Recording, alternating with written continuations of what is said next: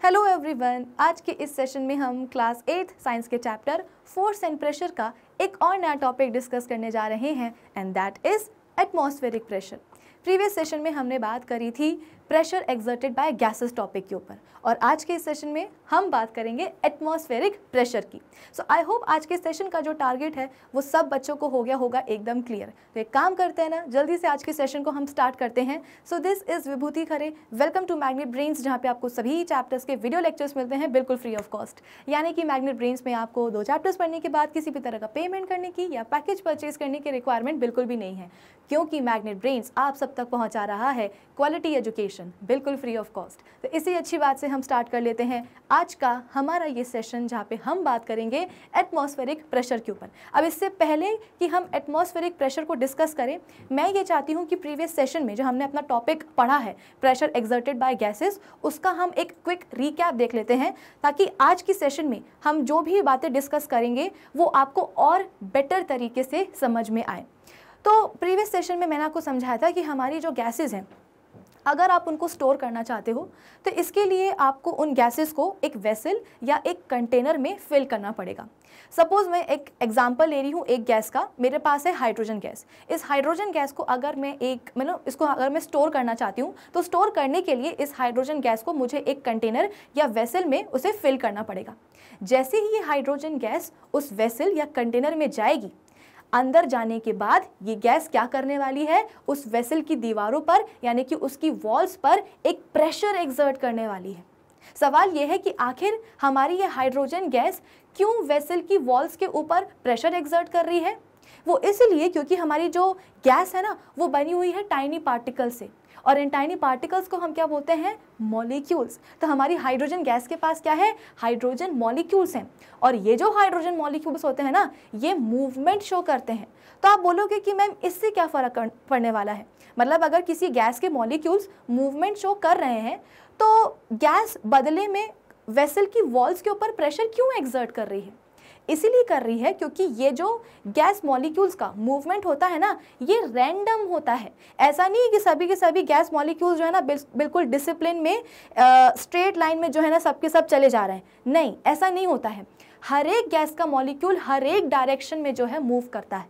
इसीलिए इसकी मूवमेंट को हम क्या बोल रहे हैं? गैस मॉलिक्यूल्स की मूवमेंट को हम क्या बोल रहे हैं? रैंडम मूवमेंट बोल रहे हैं। एक लाइन में, एक सीट में जो है ना, सभी के सभी मॉलिक्यूल्स नहीं मूव करेंगे। हर एक डायरेक्शन में सभी के सभी मॉलिक्यूल्स मूव करेंगे। और इस रैंडम मूवमेंट के कारण क्या होता है? जो गैस मॉलिक्यूल्स है ना, वो आपस में कोलाइड करते हैं, यानी कि आपस में टकराते हैं। ना सिर्फ़ गैस मॉलिक्यूल्स आपस में टकराते हैं, बल्कि ये गैस मॉलिक्यूल्स वेसल या कंटेनर की दीवारों के ऊपर जाकर के भी टकराते हैं। वॉल्स से भी टकराते हैं। अब आप खुद सोचो, आप यहाँ पे खड़े हुए हो। आप बगल से जो है ना आपका दोस्त दौड़ता हुआ आ रहा है और आया आया आया और आपको उसने धक्का मारा यानी कि आपको पुश किया। पुश मतलब क्या? फोर्स ही तो ना। हम सबको पता है कि एक प्रेशर कब प्रोड्यूस होता है? जब फोर्स एग्जर्ट होता है। तो आप खड़े हुए थे आपका दोस्त आया दौड़ते हुए और उसने आपको धक्का मारा यानी कि उसने आपको पुश किया। इनडायरेक्टली uh, आप बोल सकते हो या फिजिक्स की भाषा में आप बोल सकते हो कि उसने आप पे क्या करा है?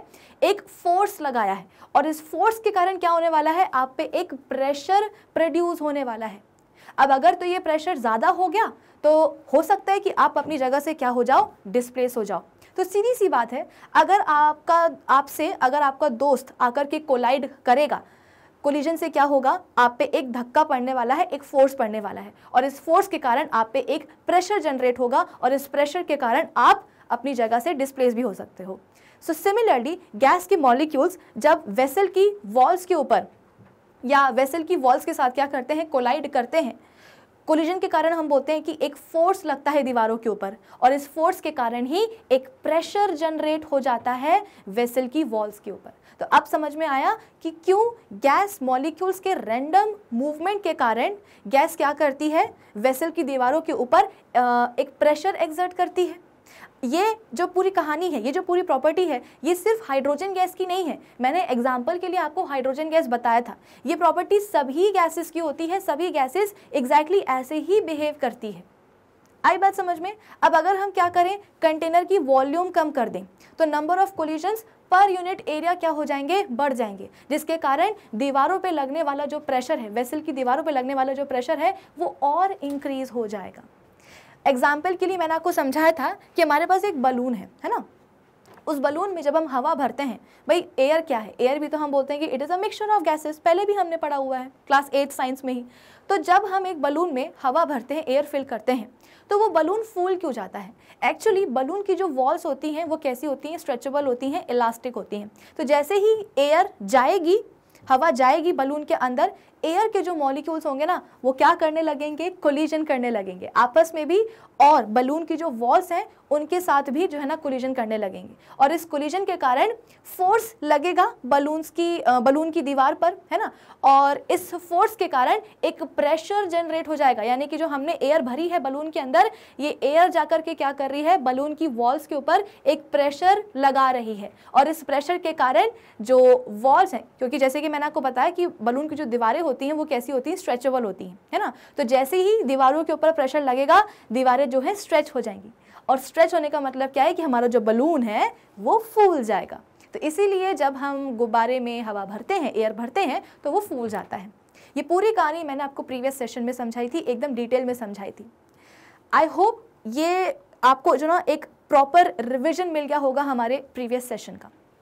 अब जल्दी से हम आ जाते हैं आज के हमारे सेशन के टॉपिक के ऊपर, जो कि क्या है एटमॉस्फेरिक प्रेशर ठीक है? यहाँ पे क्या बोला जा रहा है कि we live on the earth and there is a lot of air above us हम कहाँ रहते हैं? हम रहते हैं अपने प्लानट अर्थ पर। अर्थ पर भी कहाँ रहते हैं? अर्थ के सरफेस पे रहते हैं। हमारे आसपास क्या है? हमारे आसपास एयर है। अब माना एयर दिखती नहीं है। है ना? लेकिन इसका मतलब ये नहीं कि अगर कोई चीज़ दिख नहीं रही है तो वो होती नहीं है, वो एग्जिस्ट नहीं करती। बिल्कुल करती है। हमारे आसपास क्या है? बहुत सारी एयर है। हम कहाँ हैं? प्लेनेट अर्थ पर हैं। अर्थ पर भी कहाँ है? अर्थ के सरफेस पर है। तो आप बोल सकते हो कि अर्थ का जो सरफेस है, उसके ऊपर क्या है? एयर है। और ऐसा नहीं है कि सपोज़ ये, अगर मैं इसको डायग्राम से समझाऊं तो ये क्या है? हमारी अर्थ है। ये क्या है? हमारी अर्थ है। है ना? और ये जो मैं बना रही हूँ, ये क्या है? अर्थ का सरफेस है। तो मैंने आपको अभी अभी समझाया कि अर्थ के सरफेस के ऊपर क्या है? एयर है। तो ऐसा नहीं होगा कि अर्थ का ये जो सरफेस है ना, इस सरफेस के केवल इस वाले पोर्शन में ही क्या है? हवा है या एयर है। अर्थ का जो एंटायर सरफेस है, उस एंटायर सरफेस के ऊपर क्या है? एयर है। सिर्फ़ एक पोर्शन या दो पोर्शन की बात नहीं है। अर्थ के एंटायर सरफेस के ऊपर क्या है? एयर है। और एयर की इसी लेयर को हम क्या बोलते हैं? एटमॉस्फेयर बोलते हैं। यानी कि हमारे प्लेनेट अर्थ का क्या है? उसका अपना, खुद का पर्सनल एक एटमॉस्फेयर है। हमारे आसपास जो एयर है ना, ये एयर क्या है? एटमॉस्फेयर ही तो है हमारे अर्थ का। ठीक है? तो आप बोलोगे कि मैम, ये तो हमें समझ में आ गया कि अर्थ के सरफेस के ऊपर क्या है? एटमॉस्फेयर है।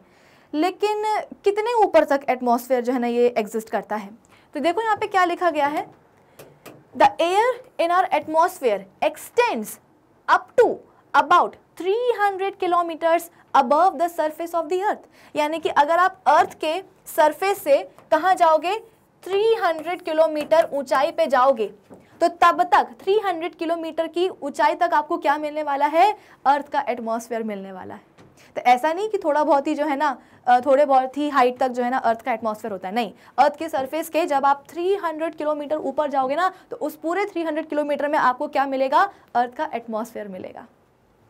तो क्या लिखा गया यहाँ पे कि we live on the earth and there is a lot of air above us the layer of air above the earth is called atmosphere earth surface के ऊपर जो एक लेयर आपको आ, मतलब दिखाई तो नहीं देती है लेकिन आपको पता है कि अर्थ के सरफेस के ऊपर जो एक पूरी लेयर है एयर की उसी को हम क्या बोलते हैं? अर्थ का एटमॉस्फेयर बोलते हैं उसका पर्सनल खुद का atmosphere the air in our atmosphere extends up to about 300 kilometres above the surface of earth the atmosphere contains a tremendous amount of air और इस एटमॉस्फेयर में ना ट्रिमेंडस अमाउंट में एयर प्रेजेंट होती है। क्लियर है? चलो नेक्स्ट पॉइंट क्या है? अच्छा ये जो हमारा अर्थ का एटमॉस्फेयर है ना, इस एटमॉस्फेयर की भी कई सारी लेयर्स होती हैं। सबसे मतलब अर्थ सरफेस की सबसे पास वाली जो लेयर है, वो कौन सी है? ट्रोपोस्फेयर है। ट्रोपोस्फेयर के आगे कौन सी है? स्ट्रेटोस्फेयर है। स्ट्रेटोस्फेयर के और आगे कौन सी है? मीजोस्फेयर है। मीजोस्फेयर के और आगे कौन सी है? थर्मोस्फेयर है। इनफैक्ट थर्मोस्फेयर के भी जब हम आगे जाएँगे ना तो पता है आपको कौन सी लेयर मिलने वाली है? एग्जोस्फेयर मिलने वाली है। तो कुल मिलाकर के अर्थ का जो एटमॉस्फेयर है, उसकी कई सारी लेयर्स होती है। देखो यहाँ पे लिखा भी गया है, लेयर्स ऑफ़ एटमॉस्फेयर। तो सबसे अर्थ सरफेस के सबसे पास वाली लेयर कौन सी होती है एटमॉस्फेयर की? ट्रोपोस्फेयर। फिर उसके ऊपर होती है स्ट्रेटोस्फेयर। फिर उसके ऊपर होती है कौन सी? मीजोस्फीयर फिर इसके बाद में होती है थर्मोस्फीयर और सबसे आखिरी में कौन सी होती है? एग्जोस्फीयर होती है। और जब आप इस एग्जोस्फीयर को भी क्या कर लेते हो? क्रॉस कर लेते हो तो आप कहाँ आ जाते हो? स्पेस में आ जाते हो। यानी कि जब हमारे एस्ट्रोनॉट्स को स्पेस में जाना होता है ना तो वो अर्थ सरफेस से निकलते हैं रॉकेट में और शुई करके कहाँ पहुँच जाते हैं? एग्जोस्फीयर के बाहर पहुँच जाते हैं। एग्जोस्फीयर के बाहर क्या आपको मिलने वाला है? स्पेस मिलने वाला है। आई बात समझ में? अगर हम बात करें ट्रोपोस्फेयर लेयर की तो ये जो ट्रोपोस्फेयर लेयर है ना, ये काफ़ी डेंस होती है। इस लेयर में बहुत सारी गैसेस प्रेजेंट होती हैं डस्ट पार्टिकल्स प्रेजेंट होते हैं और वाटर ड्रॉपलेट्स वगैरह प्रेजेंट होती हैं। ठीक है तो कुल मिलाकर के जो अर्थ सरफेस के सबसे पास वाली लेयर जो है एटमॉस्फेयर की ट्रोपोस्फेयर ये काफ़ी डेंस होती है।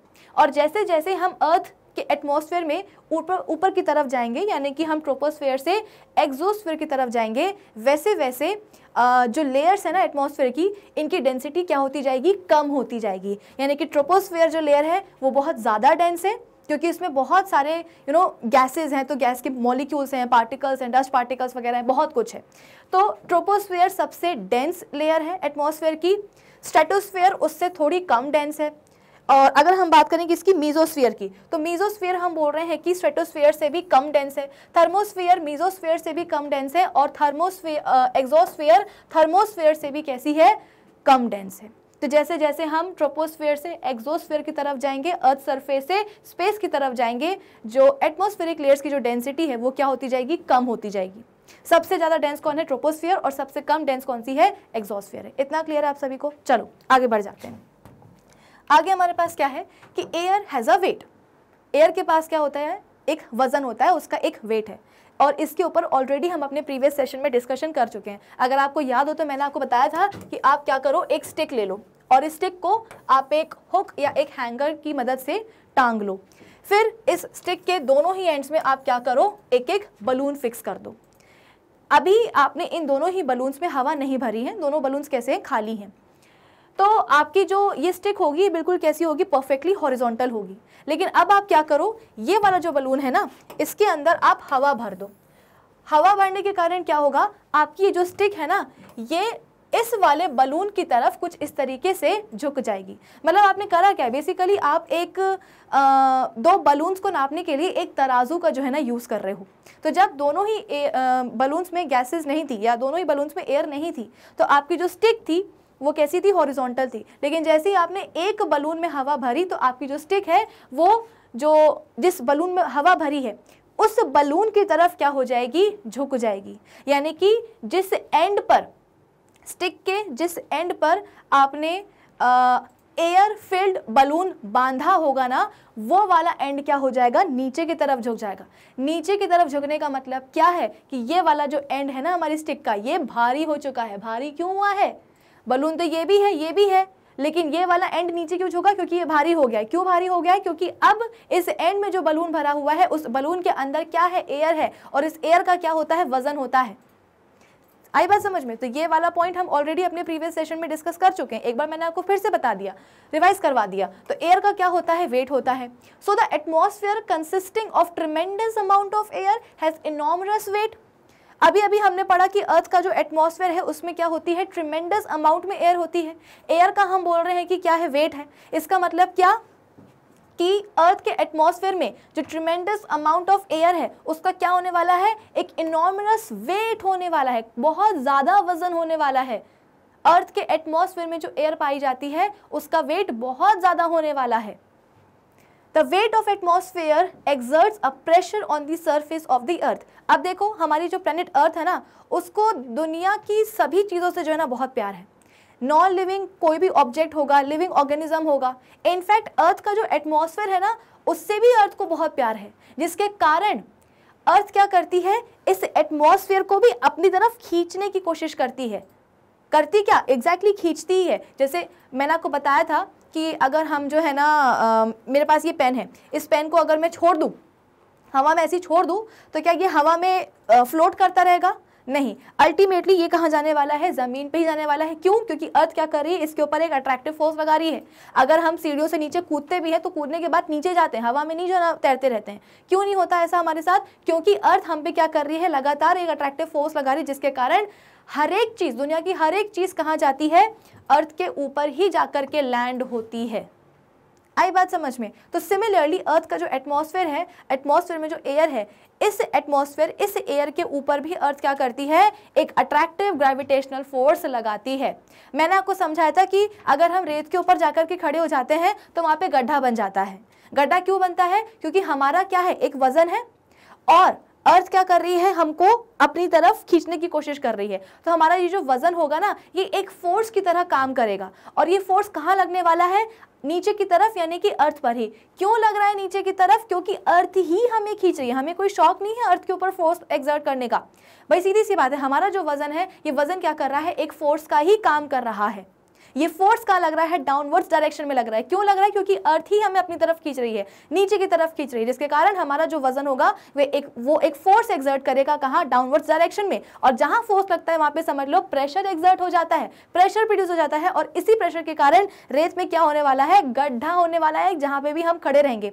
सिमिलरली अर्थ के सरफेस के ऊपर, जो उसका एटमॉस्फेयर है, उस एटमॉस्फेयर के ऊपर भी क्या करने वाली है? अर्थ एक अट्रैक्टिव फोर्स लगाने वाली है। अभी अभी मैंने आपको समझाया कि अर्थ के एटमोसफेयर में जो एयर है, उसका बहुत ज़्यादा वज़न है। तो अल्टीमेटली एयर का ये जो वज़न है, ये कहाँ लगने वाला है? डाउनवर्ड्स डायरेक्शन में लगने वाला है, यानी कि टुवर्ड्स अर्थ ही लगने वाला है।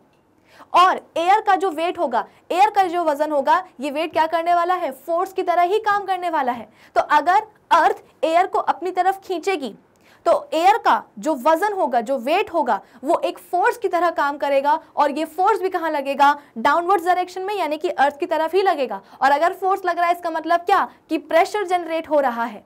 अब ये जो प्रेशर जनरेट हुआ है, ये कहाँ हुआ है? अर्थ के सरफेस पे ही हुआ है। और ये क्यों हुआ है प्रेशर जनरेट तो एटमॉस्फेयर के कारण। इसीलिए इस प्रेशर को हम बोलते हैं क्या? एटमॉस्फेरिक प्रेशर आई होप आप सबको समझ में आया होगा कि एग्जैक्टली exactly एटमॉस्फेरिक क्या प्रेशर क्या होता है? कि हमारा क्या है? प्लेनेट अर्थ है। उसका सरफेस है। सर के सरफेस के ऊपर क्या है? एटमॉस्फेयर है। एटमॉस्फेयर में क्या है?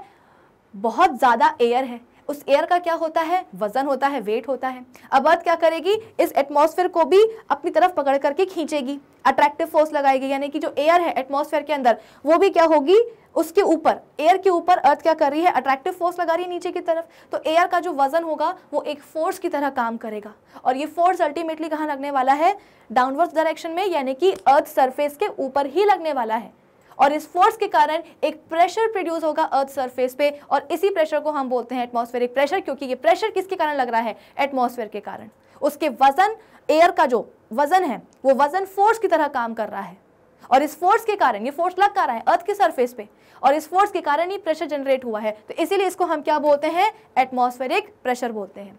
So the weight of atmosphere exerts a pressure on the surface of the earth and on all the objects on the earth including our cells ये जो एटमॉस्फेरिक प्रेशर लग रहा है ना, ये सिर्फ़ अर्थ के सरफेस पे नहीं लग रहा है। भाई, मैंने आपको पहले ही बताया था कि हम कहाँ हैं? अर्थ पे तो है, लेकिन अर्थ पे भी कहाँ है? अर्थ के सरफेस पे हैं। अर्थ के सरफेस पे ही हम खड़े हैं। हमारे अलावा और भी बहुत सारी चीज़ें हैं अर्थ के सरफेस पे। तो ये जो एटमॉस्फेरिक प्रेशर लगने वाला है ना, ये अर्थ के सरफेस पे तो लगेगा ही। साथ ही साथ अर्थ की सरफेस पे जो हम हैं, जो लिविंग ऑर्गेनिज्म हैं, या जो नॉन लिविंग ऑब्जेक्ट्स है, हर एक चीज़ के ऊपर ये एटमॉस्फेरिक प्रेशर लगने वाला है। This pressure is known as what? Atmospheric pressure.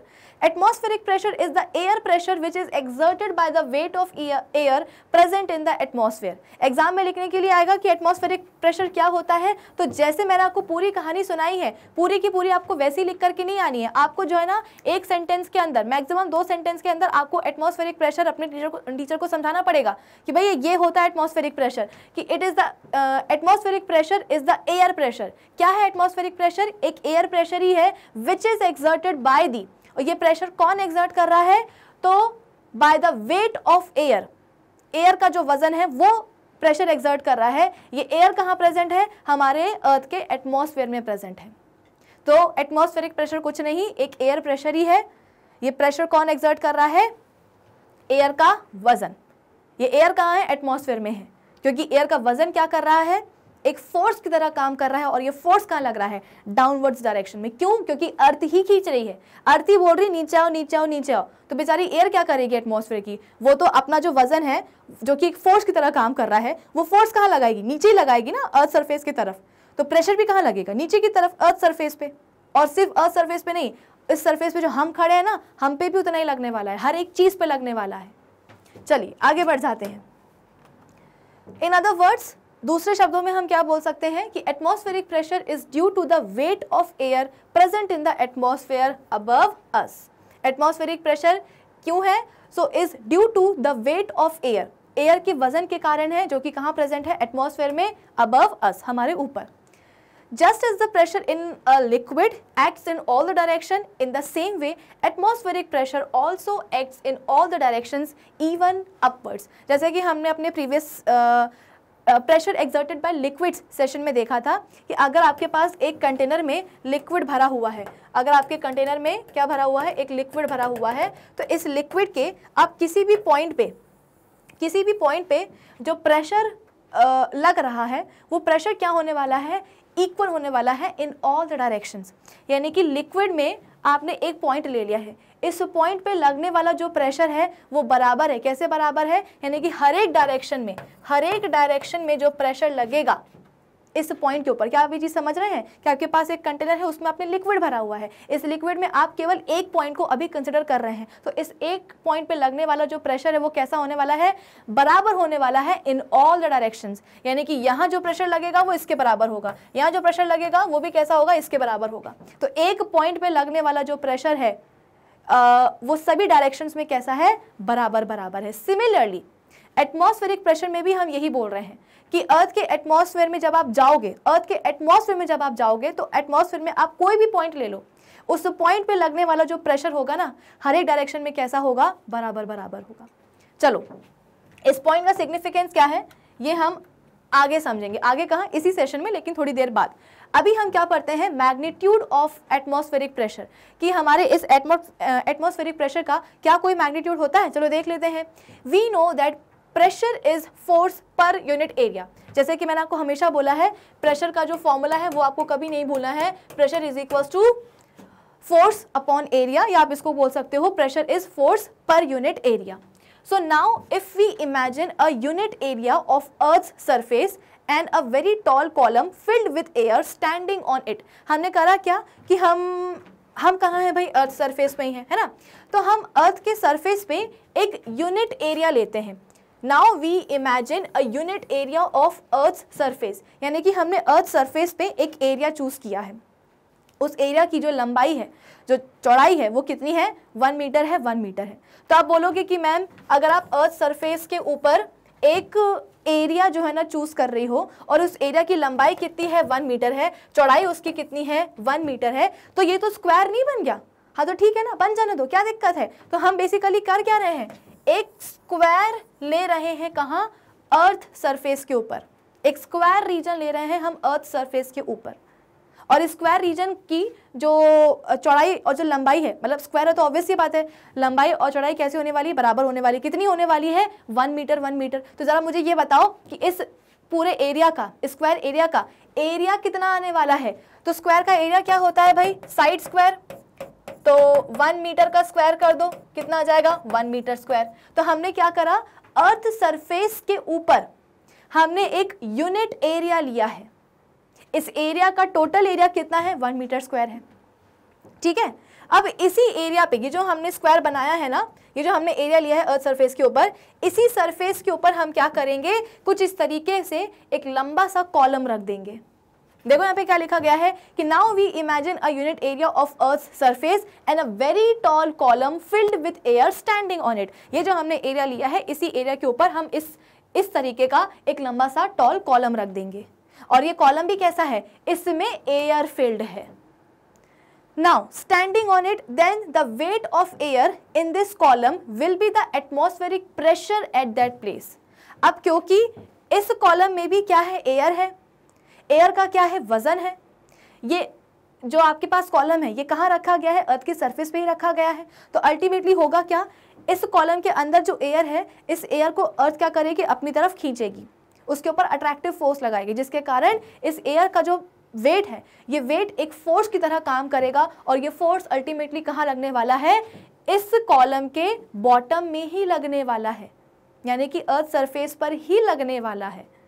और इस फोर्स के कारण क्या होगा? एक प्रेशर जनरेट होगा। तो इस प्रेशर को हम क्या बोल सकते हैं? Will be the atmospheric pressure at that place कि इस पर्टिकुलर प्लेस पे लगने वाला क्या होगा वो? एटमॉस्फेरिक प्रेशर होगा। भाई, सीधी सी बात है। अब हम क्या कर रहे हैं? हम अर्थ का एंटायर एटमॉस्फेयर कंसिडर नहीं कर रहे हैं। हमने अर्थ का एक अर्थ के सरफेस पे हमने एक एरिया चूज़ किया है। यूनिट एरिया हमने लिया है, वहाँ पे हमने एक लंबा सा कॉलम रख दिया है और उस कॉलम में भी क्या भरी हुई है? एयर भरी हुई है। तो अब ये जो एयर है, इसके ऊपर अर्थ बेसिकली इस एयर को अर्थ अपनी तरफ़ तो खींच ही रही है तो इसका जो भी वज़न होगा, वो वज़न एक फोर्स की तरह काम करेगा, जो कि कहाँ लगेगा? इस एरिया पे ही लगेगा, है ना? मैं आपको और क्लियरली समझा देती हूँ कि इस एरिया इस एयर का, इस कॉलम के अंदर जो भी एयर फ़ील्ड है, इस फ़ील्ड एयर का जो वज़न है जो कि एक फोर्स की तरह काम कर रहा है, ये फोर्स कहाँ लगने वाला है? इस यूनिट एरिया में ही लगने वाला है। यानी कि इस फोर्स के कारण क्या होगा? प्रेशर एग्जर्ट होगा और ये प्रेशर कहाँ लगेगा? इस यूनिट एरिया में लगेगा। यानी कि ये प्रेशर क्या कहलाएगा? Atmospheric pressure of this particular place इस पर्टिकुलर यूनिट एरिया पे लगने वाला क्या होगा? वो एटमॉस्फेरिक प्रेशर होगा। ठीक है? Since the SI unit of area is square meter. Therefore, we can also say that the atmospheric pressure is equal to the weight of air present in very tall column of air standing on one square meter area of the earth. आसान शब्दों में क्या समझाया गया है कि हम ये भी बोल सकते हैं कि एटमॉस्फेरिक प्रेशर किसके बराबर है to the weight of air present in a very tall column भाई सीधी सी बात है जिस एटमॉस्फेरिक प्रेशर की हम बात कर रहे हैं कि एटमॉस्फेरिक कहाँ लग रहा है? इस यूनिट एरिया में ही लग रहा है। एटमॉस्फेरिक कहाँ का है? इस यूनिट एरिया का ही है। ये एटमॉस्फेरिक एरिया ये एटमॉस्फेरिक प्रेशर आखिर लग क्यों रहा है? क्योंकि फोर्स लगा है। प्रेशर तभी आता है जब फोर्स लगता है। और फोर्स किसकी वजह से लगा है? तो इस एयर के वज़न के कारण लगा है। तो आप बोल सकते हो ना कि एयर का जो वज़न है वो किसके बराबर हो जाएगा? उसके प्रेशर के बराबर हो जाएगा। तो यहाँ पे भी वही समझाया जा रहा है कि एटमॉस्फेरिक प्रेशर किसके बराबर है? वेट ऑफ़ एयर के बराबर है, जो कि ये एयर कहाँ प्रेजेंट है? एक वेरी टॉल कॉलम में, जो कि कहाँ खड़ा है? One square metre area of the earth पर खड़ा है। ठीक है? तो सीधी सी बात है एटमॉस्फेरिक प्रेशर को नापने का या एटमॉस्फेरिक प्रेशर का जो मैग्नीट्यूड है, वो किसके बराबर होता है? एयर के वज़न के बराबर होता है। और आसान शब्दों में मैंने आपको समझा दिया। ठीक है? चलो, आगे बढ़ जाते हैं हम। आगे हमारे पास क्या है? On the surface of earth the atmospheric pressure is maximum at the sea level मतलब हम अभी कहाँ हैं? अर्थ के एटमॉस्फेयर अर्थ के सरफेस पे ही है। हम अर्थ के सरफेस के ऊपर नहीं उठ रहे हैं। अर्थ के सरफेस पे ही है। अर्थ के सरफेस पे हम बोल रहे हैं कि सी लेवल पर जो एटमॉस्फेरिक प्रेशर है वो कैसा होता है? मैक्सिमम होता है। अब आप मुझे ये बताओ इसके पहले जो हमने अपना टॉपिक पढ़ा था प्रेशर एग्जर्टेड बाय लिक्विड्स वाला उस टॉपिक में मैंने आपको क्या समझाया था कि हमारे पास क्या है? एक कंटेनर है और उसमें हमने क्या भरा हुआ है? सपोज़ पानी भरा हुआ है। क्या भरा हुआ है? उसमें हमने पानी भरा हुआ है। और इस पानी की भी हमने क्या करी थी? आ, आप बोल सकते हो कि इसको हमने तीन अलग अलग लेयर्स में जो है ना सेपरेट किया था। मतलब हमने एक कंटेनर में पानी भरा और उस पानी को हमने तीन लेयर्स में सेपरेट कर दिया था। तो आप मुझे ये बताओ कि कौन सी वाली लेयर के ऊपर मैंने आपको समझाया था कि आ, उस पर जो प्रेशर है वो सबसे ज़्यादा लगेगा? मतलब आपके पास कंटेनर आया उसमें पानी भरा और उसको आपने तीन अलग अलग लेयर्स में आपने सेपरेट कर दिया है। तो कौन सी वाली लेयर में प्रेशर सबसे ज़्यादा होने वाला है? जल्दी बताओ मैंने आपको एक्सप्लेन किया था। उसका जवाब है क्या? ये। ये अगर ये फ़र्स्ट लेयर है, ये सेकेंड लेयर है और ये तीसरी लेयर है तो तीसरी लेयर पे प्रेशर सबसे ज़्यादा लगने वाला है। क्यों लगने वाला है? क्योंकि इस तीसरी लेयर के ऊपर क्या है? पानी की दो और लेयर हैं। और दो और लेयर का मतलब क्या है? इतना सारा पानी है तो इतने सारे पानी का इतना सारा वज़न भी तो होगा ना। तो इस तीसरी लेयर के ऊपर दो लेयर्स और हैं और उन दो लेयर्स में क्या है पानी है? तो इस पानी का भी वज़न कहाँ लगेगा? तीसरी लेयर पे भी लगेगा। मतलब तीसरी लेयर पे ही लगेगा, जिसके कारण तीसरी लेयर में जो प्रेशर होगा वो सबसे ज़्यादा होगा। और ये जो फ़र्स्ट लेयर है ना फ़र्स्ट लेयर के आप बोल सकते हो कि सरफेस पे प्रेशर सबसे कम होगा। क्यों होगा? क्योंकि भाई फ़र्स्ट लेयर जो है, ये तीसरी हो गई, या फ़र्स्ट हो गई। तो फ़र्स्ट लेयर का जो सरफेस है, उस सरफेस के ऊपर तो कुछ है ही नहीं, पानी है ही नहीं। तो इसका मतलब क्या? फ़र्स्ट लेयर के सरफेस पे प्रेशर बहुत ही कम होगा। और तीसरी लेयर के अंदर आप बोल सकते हो कि पानी का प्रेशर बहुत ज़्यादा होने वाला है, क्योंकि उसके ऊपर ऑलरेडी जो है ना काफ़ी सारा पानी है। तो इस पानी का जो वज़न है, वो एक फोर्स की तरह काम करेगा और फोर्स क्या करेगा? प्रेशर लगाएगा। सिमिलरली सिमिलरली मैंने आपको अभी अभी समझाया कि अर्थ के एटमॉस्फेयर की क्या होती है? लेयर्स होती हैं। और जैसे जैसे हम अर्थ के एटमॉस्फेयर में ऊपर की तरफ़ उठेंगे स्पेस में जाएँगे अर्थ के एटमॉस्फेयर से तो आप बोल सकते हो कि जो डेंसिटी है लेयर्स की, वो क्या होती जाएगी? कम होती जाएगी। अब अगर आप खड़े हो कहाँ पे? अभी अर्थ के सरफेस पे, आप सी लेवल पे हो। तो इस पॉइंट पे जो एटमॉस्फेरिक प्रेशर है, वो कैसा होगा? मैक्सिमम होगा। क्यों मैक्सिमम होगा? इसको अगर मैं डायग्राम से समझाऊं आपको तो ये देखो, आप कहाँ खड़े हो? अर्थ के सरफेस पे खड़े हो सी लेवल पे, ठीक है? आप यहाँ खड़े हो। तो इस पॉइंट पे प्रेशर कैसा होगा? मैक्सिमम होगा। क्यों मैक्सिमम होगा? क्योंकि इस पॉइंट पे, इस पॉइंट पे देखो जरा, इस पॉइंट के ऊपर कितनी सारी जो है ना लेयर्स हैं एटमॉस्फेयर की। और इन सभी की सभी लेयर्स का क्या होने वाला है? भाई जो लेयर्स है, उसमें क्या भरा है? एयर ही तो भरी है ना?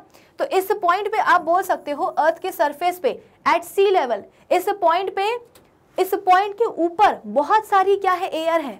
और इस बहुत सारी एयर का बहुत सारा वज़न होगा। बहुत सारा वज़न मतलब कि बहुत सारा फोर्स और बहुत सारा फोर्स मतलब कि बहुत सारा प्रेशर तो आप बोल सकते हो कि at the surface of earth sea level पे एटमॉस्फेरिक प्रेशर मैक्सिमम होता है। क्यों? क्योंकि इस पॉइंट पर इस पॉइंट के ऊपर आप बोल सकते हो कि बहुत सारी एयर होती है। जितनी एयर होगी, उतना ज़्यादा उसका वज़न होगा, उतना ज़्यादा उसका फोर्स होगा और उतना ज़्यादा ही उसका प्रेशर होगा।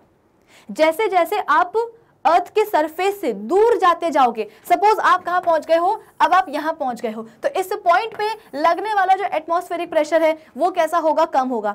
इसके कंपैरिजन में सी लेवल के कंपैरिजन में, इस पॉइंट पे आप पर जो एटमॉस्फेरिक प्रेशर लगेगा, वो कम होगा। क्यों कम होगा? क्योंकि अब आप खुद ही सोचो ना, इस पॉइंट के ऊपर क्या है? अब बस इतनी एयर है। तो एयर कम हो गई। भाई, अगर आप यहाँ होंगे अर्थ के सरफेस पे होंगे तो इस पॉइंट के ऊपर इतनी सारी लेयर है। इतनी सारी लेयर का इतना सारा वज़न, इतना सारा फोर्स इतना सारा प्रेशर लेकिन अगर आप कहाँ हो, यहाँ हो अर्थ सरफेस के आप ऊपर उठाए हो तो इस पॉइंट पे केवल इतनी एयर है आपके ऊपर। तो एयर कम हो गई है, उसका अमाउंट कम हो गया, इसका मतलब क्या? वज़न कम हो गया। वज़न कम हो गया मतलब क्या? फोर्स कम हो गया और अगर फोर्स कम हो गया, इसका मतलब क्या? कि प्रेशर कम हो गया। तो इसीलिए यहाँ पे बोला गया है कि अर्थ के सरफेस पर at sea level atmospheric pressure will be maximum क्योंकि इस पॉइंट के ऊपर बहुत सारी एयर होती है। लेकिन जैसे जैसे हम अर्थ सरफेस के ऊपर उठते जाएँगे एटमॉस्फेयर में जाते जाएँगे प्रेशर कम होने वाला है। तो सीधी सी बात है, जब हम अच्छा अगर मैं आपको एग्जांपल से पूछूँ कि आप कहाँ खड़े हो सरफेस पे खड़े हो अर्थ के सरफेस पे सी लेवल पे, और आपका जो दोस्त है, वो क्या कर रहा है, अभी एरोप्लेन में उड़ रहा है तो एटमॉस्फेरिक प्रेशर ज़्यादा किस पे लगने वाला है? आपका जवाब होना चाहिए कि मैम हम पे हम पे एटमॉस्फेरिक प्रेशर ज़्यादा लगेगा। क्यों? क्योंकि हमारा जो दोस्त है, वो अर्थ सरफेस के ऊपर जा चुका है, वो अर्थ के एटमॉस्फेयर में जा चुका है, और अर्थ के एटमॉस्फेयर में जाने पर क्या होगा? एटमॉस्फेरिक प्रेशर कम हो जाएगा। आपका दोस्त सपोज़ कहाँ उड़ रहा है? आपका दोस्त है ना, यहाँ है। ये एरोप्लेन है ना? तो इस एरोप्लेन में आपका दोस्त बैठा हुआ है। आप यहाँ हो। तो क्योंकि आपके ऊपर तो इतनी सारी एयर है तो प्रेशर इस एयर का ज़्यादा लगेगा। लेकिन अगर मैं आपके दोस्त की बात बताऊँ तो आपके दोस्त के ऊपर बस इतनी एयर है। एयर कम हो गई है। तो उसका वज़न कम हो गया फोर्स कम हो गया प्रेशर कम हो गया। अब कभी भी आप ये चीज़ नहीं भूलेंगे। ठीक है? आगे बढ़ जाते हैं। आगे क्या है? कि this is because this is because the column of air above earth is tallest at the sea level sea level पे यानी कि अर्थ के सरफेस पर सी लेवल पर हम बोलते हैं कि आ, हमारे ऊपर एयर का जो कॉलम है वो क्या होता है? सबसे टॉलेस्ट होता है यानी कि सबसे लंबा होता है। कॉलम मतलब क्या? जैसे कि मैंने आपको समझाया ना ये कि अगर आप सी लेवल पे खड़े हो तो यहाँ से लेकर के यहाँ तक देखो अर्थ का जो पूरा कॉलम है वो कैसा है? सबसे लंबा है। आपका दोस्त एरोप्लेन में है तो एरोप्लेन के पॉइंट पर अगर हम देखेंगे तो एयर का जो कॉलम होगा, वो कैसा होगा? छोटा होगा। ये कॉलम देखो एयर का, ज़्यादा है ना? और ये कॉलम देखो, छोटा है ना? एयर का। इसलिए, चलिए, आगे बढ़ जाते हैं। आगे हमसे क्या बोला जा रहा है? कि the atmospheric pressure on the surface of earth at the sea level is 101.3 kilopascals which is equivalent to the weight of 10 elephants pressing one, one pressing on each square meter area. अब ये तो हमें समझ में आ गया कि maximum होता है एटमॉस्फेरिक प्रेशर सी सरफेस पे एट द सी लेवल लेकिन कितना होता है तो 101.3 किलो पास्कल्स जो कि किसके बराबर होता है दस हाथियों के वज़न के बराबर होता है, जो कि क्या कर रहे हैं? Square metre each square metre area को क्या कर रहे हैं? प्रेस कर रहे हैं। आई बात समझ में? तो आप बोल सकते हो कि अर्थ के हर एक स्क्वायर मीटर एरिया पे, जैसे कि ये क्या है आपकी अर्थ है? तो इस अर्थ के हर एक स्क्वायर हर एक स्क्वायर मीटर एरिया में, हर एक स्क्वायर मीटर एरिया में कितना प्रेशर लगने वाला है तो आप बोल सकते हो कि 101.3 किलो पास्कल्स लगने वाला है। ये किसके बराबर है? ये बराबर है अपने 10 एलिफेंट्स के वज़न के। ठीक है ना? वेट के। तो इसका मतलब क्या? कि अगर आप, हम कहाँ खड़े हैं? हम इसी स्क्वायर मीटर वाले एरिया में खड़े हैं। सपोज़ हम यहाँ पे खड़े हैं तो हम पे भी कितना एटमॉस्फेरिक प्रेशर लगने वाला है? दस हाथियों के वज़न के बराबर लगने वाला है, यानी कि 1.1 101.3 किलो पास्कल्स प्रेशर लगने वाला है। आई बात समझ में? तो कुल मिलाकर के एटमॉस्फेरिक प्रेशर क्या होता है? और इसको हम मेजर कैसे करते हैं? इसका जो मैग्नीट्यूड है, वो हमें समझ में आ गया है। मैक्सिमम कहाँ होता है? अर्थ के सरफेस पर एट द सी लेवल जैसे जैसे जैसे आप अर्थ के सरफेस के ऊपर उठोगे एटमॉस्फेयर के यू नो अर्थ के एटमॉस्फेयर में जाओगे, वैसे वैसे प्रेशर क्या होगा? कम होता जाएगा. क्यों होता जाएगा? क्योंकि अर्थ के सरफेस पर at the earth surface sea level air का जो कॉलम होता है, वो कैसा होता है? टॉलेस्ट होता है. यानी कि सरफेस पर, अगर आप सरफेस पर खड़े हो तो इस पॉइंट से लेकर के ऊपर तक, आपके जो ऊपर है ना, वो एयर बहुत सारी है. तो बहुत सारी एयर का बहुत ज़्यादा वज़न फोर्स और प्रेशर भी बहुत ज़्यादा होगा। फिर इसके बाद में कि अर्थ के हर स्क्वायर मीटर एरिया पे एटमॉस्फेरिक प्रेशर कितना लगने वाला है? 101.3 किलो पास्कल्स लगने वाला है, जो कि 10 हाथियों के वज़न के बराबर होता है। हम कहाँ खड़े हैं? अर्थ सरफेस पे ही खड़े हैं। इस वन स्क्वायर मीटर एरिया में ही खड़े हैं। तो हम पे लगने वाला जो एटमॉस्फेरिक प्रेशर है, वो भी कितना होगा? 10 हाथियों के वज़न के बराबर होगा, यानी कि 101.3 किलो पास्कल्स ही होगा। पहले मैंने आपको बताया था कि अर्थ का जो मतलब ये जो एटमॉस्फेरिक प्रेशर है ना, ये केवल अर्थ के सरफेस पे नहीं लगता है। अर्थ के सरफेस पे प्रेजेंट हर एक चीज़ के ऊपर एटमॉस्फेरिक प्रेशर उतना ही लगेगा।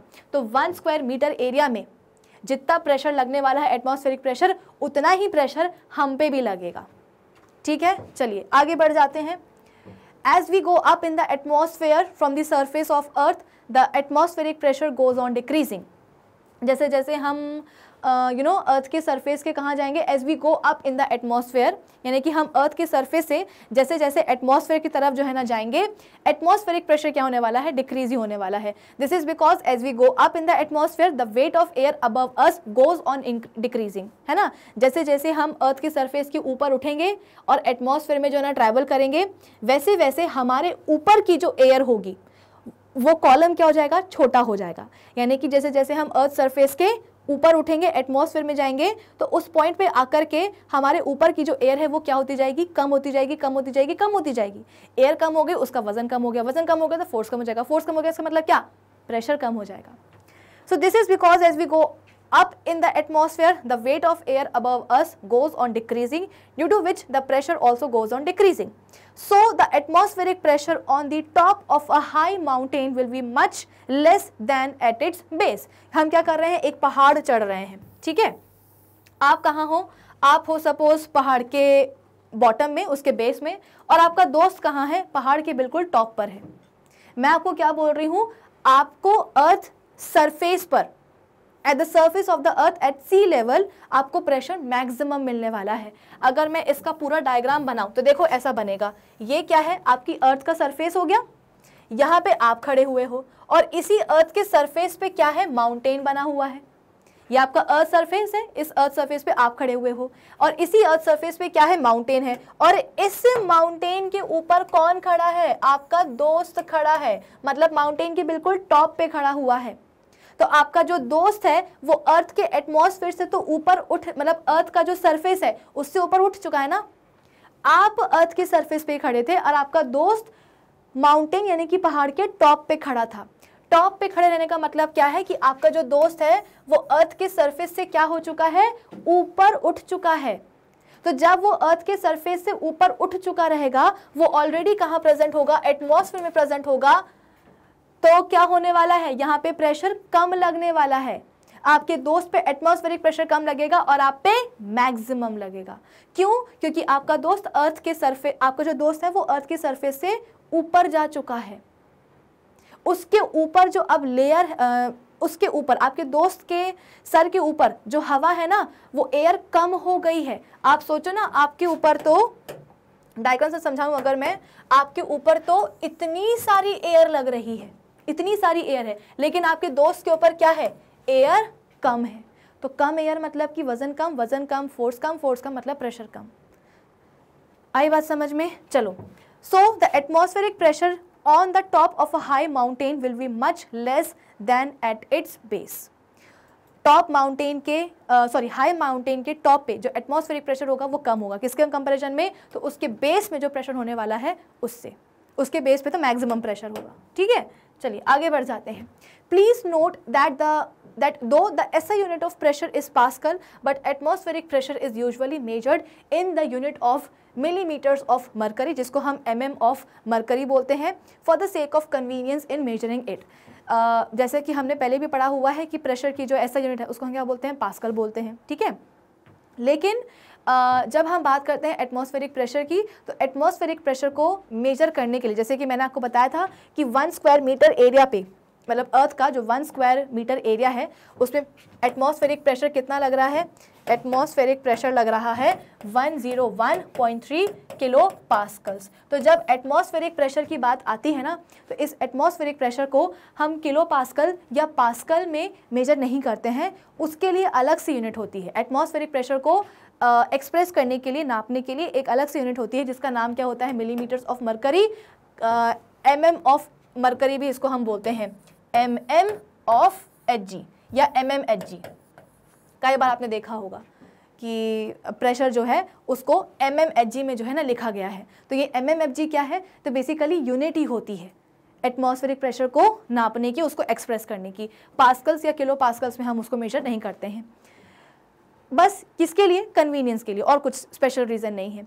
This the common unit for expressing and measuring atmospheric pressure is millimetres of mercury M M of mercury the atmospheric pressure on the surface of the earth at the sea level is seven sixty M M of mercury तो हमारे अर्थ के surface पे atmospheric pressure कितना है?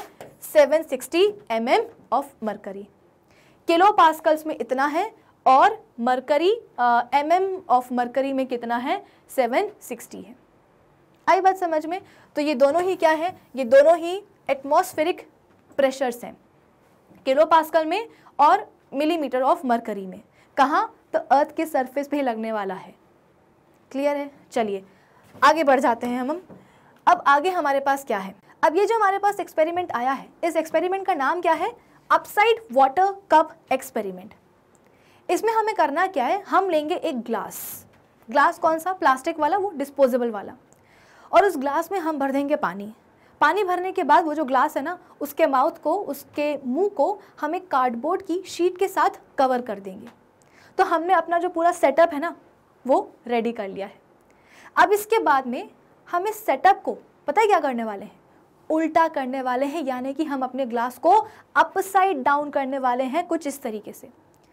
तो सोच के देखो लॉजिकली टेक्निकली होना क्या चाहिए था? कि अगर आप एक ग्लास ले रहे हो, उसमें पानी भर रहे हो और उस ग्लास के माउथ को अगर आप एक कार्डबोर्ड की शीट के साथ कवर कर रहे हो, इसके बाद में आपने ग्लास को क्या करा है? उल्टा कर दिया है। तो उल्टा करने के बाद में होगा क्या? जो शीट है वो नीचे गिर जाएगी और ग्लास के अंदर जो पानी है वो भी नीचे गिर जाएगा। लेकिन इस एक्सपेरिमेंट में ऐसा कुछ भी नहीं हुआ। ये जो कार्डबोर्ड की शीट है ना, ये अपनी जगह से बिल्कुल भी नहीं हिली। ना ये हिली और ना ही ग्लास के अंदर का जो पानी है, वो ग्लास के बाहर आया, ना वो पानी ज़मीन पे आया, वो बाहर नहीं। तो आखिर ये ऐसी चीज़ क्यों हो रही है कि हमने पूरे के पूरे एंटायर सेटअप को अपसाइड डाउन कर दिया, उल्टा कर दिया? उल्टा करने उल्टा करने के बावजूद जो कार्डबोर्ड की शीट है, वो अपनी जगह से नहीं हिली। ग्लास के अंदर का जो पानी है, वो अपनी जगह से नहीं हिला। वो नहीं बाहर आया ग्लास के। ऐसा क्यों हुआ? तो इस चीज़ को मैं समझाती हूँ आपको एक बहुत ही बेसिक एग्ज़ाम्पल से। कैसे? कि सपोज़ ये हो आप। ये कौन है भाई? ये हो आप। ठीक है? और इसके बाद में आपके दो दोस्त हैं। एक फ्रेंड है आपका ये वाला। ठीक है ना? चलो इस फ्रेंड का हम नाम भी रख देते हैं। इसका नाम हमने रख दिया क्या? चिंटू। क्या नाम रख दिया हमने इसका? चिंटू। और दूसरा फ्रेंड है आपका ये वाला। और इसका भी नाम हम रख ही देते हैं। इसका नाम हमने रख दिया क्या? पिंटू। तो ये हो आप, ये हो आप, ये है आपका एक दोस्त चिंटू और ये है आपका दूसरा दोस्त जिसका नाम है क्या पिंटू। अब ये चिंटू और पिंटू कर क्या रहे हैं? आपको जो है ना धक्का दे रहे हैं। धक्का मतलब कि पुश और पुश क्या होता है? एक फोर्स होता है। चिंटू दे रहा है आपको कुछ इस डायरेक्शन में धक्का, यानी कि इस डायरेक्शन में चिंटू क्या कर रहा है? आपके ऊपर फोर्स लगा रहा है। सिमिलरली पिंटू भी क्या कर रहा है? आपको धक्का दे रहा है और धक्का दे रहा है वो कुछ इस डायरेक्शन में, यानी कि आपके ऊपर चिंटू और पिंटू क्या कर रहे हैं? फोर्सेस लगा रहे हैं। और इन फोर्सेस का जो डायरेक्शन है वो कैसा है? ऑपोजिट है। डायरेक्शन तो ऑपोजिट है फोर्स का, लेकिन मैग्नीट्यूड कैसा है? बराबर बराबर है। यानी कि चिंटू और पिंटू दोनों ही आपके ऊपर सेम अमाउंट का फोर्स लगा रहे हैं, लेकिन फ़र्क क्या है? फ़र्क है दोनों ही फोर्सेस के डायरेक्शन में। अब हम सबको पता है कि जब भी फोर्स लगता है तो प्रेशर जो है ना, अपने आप आ जाता है।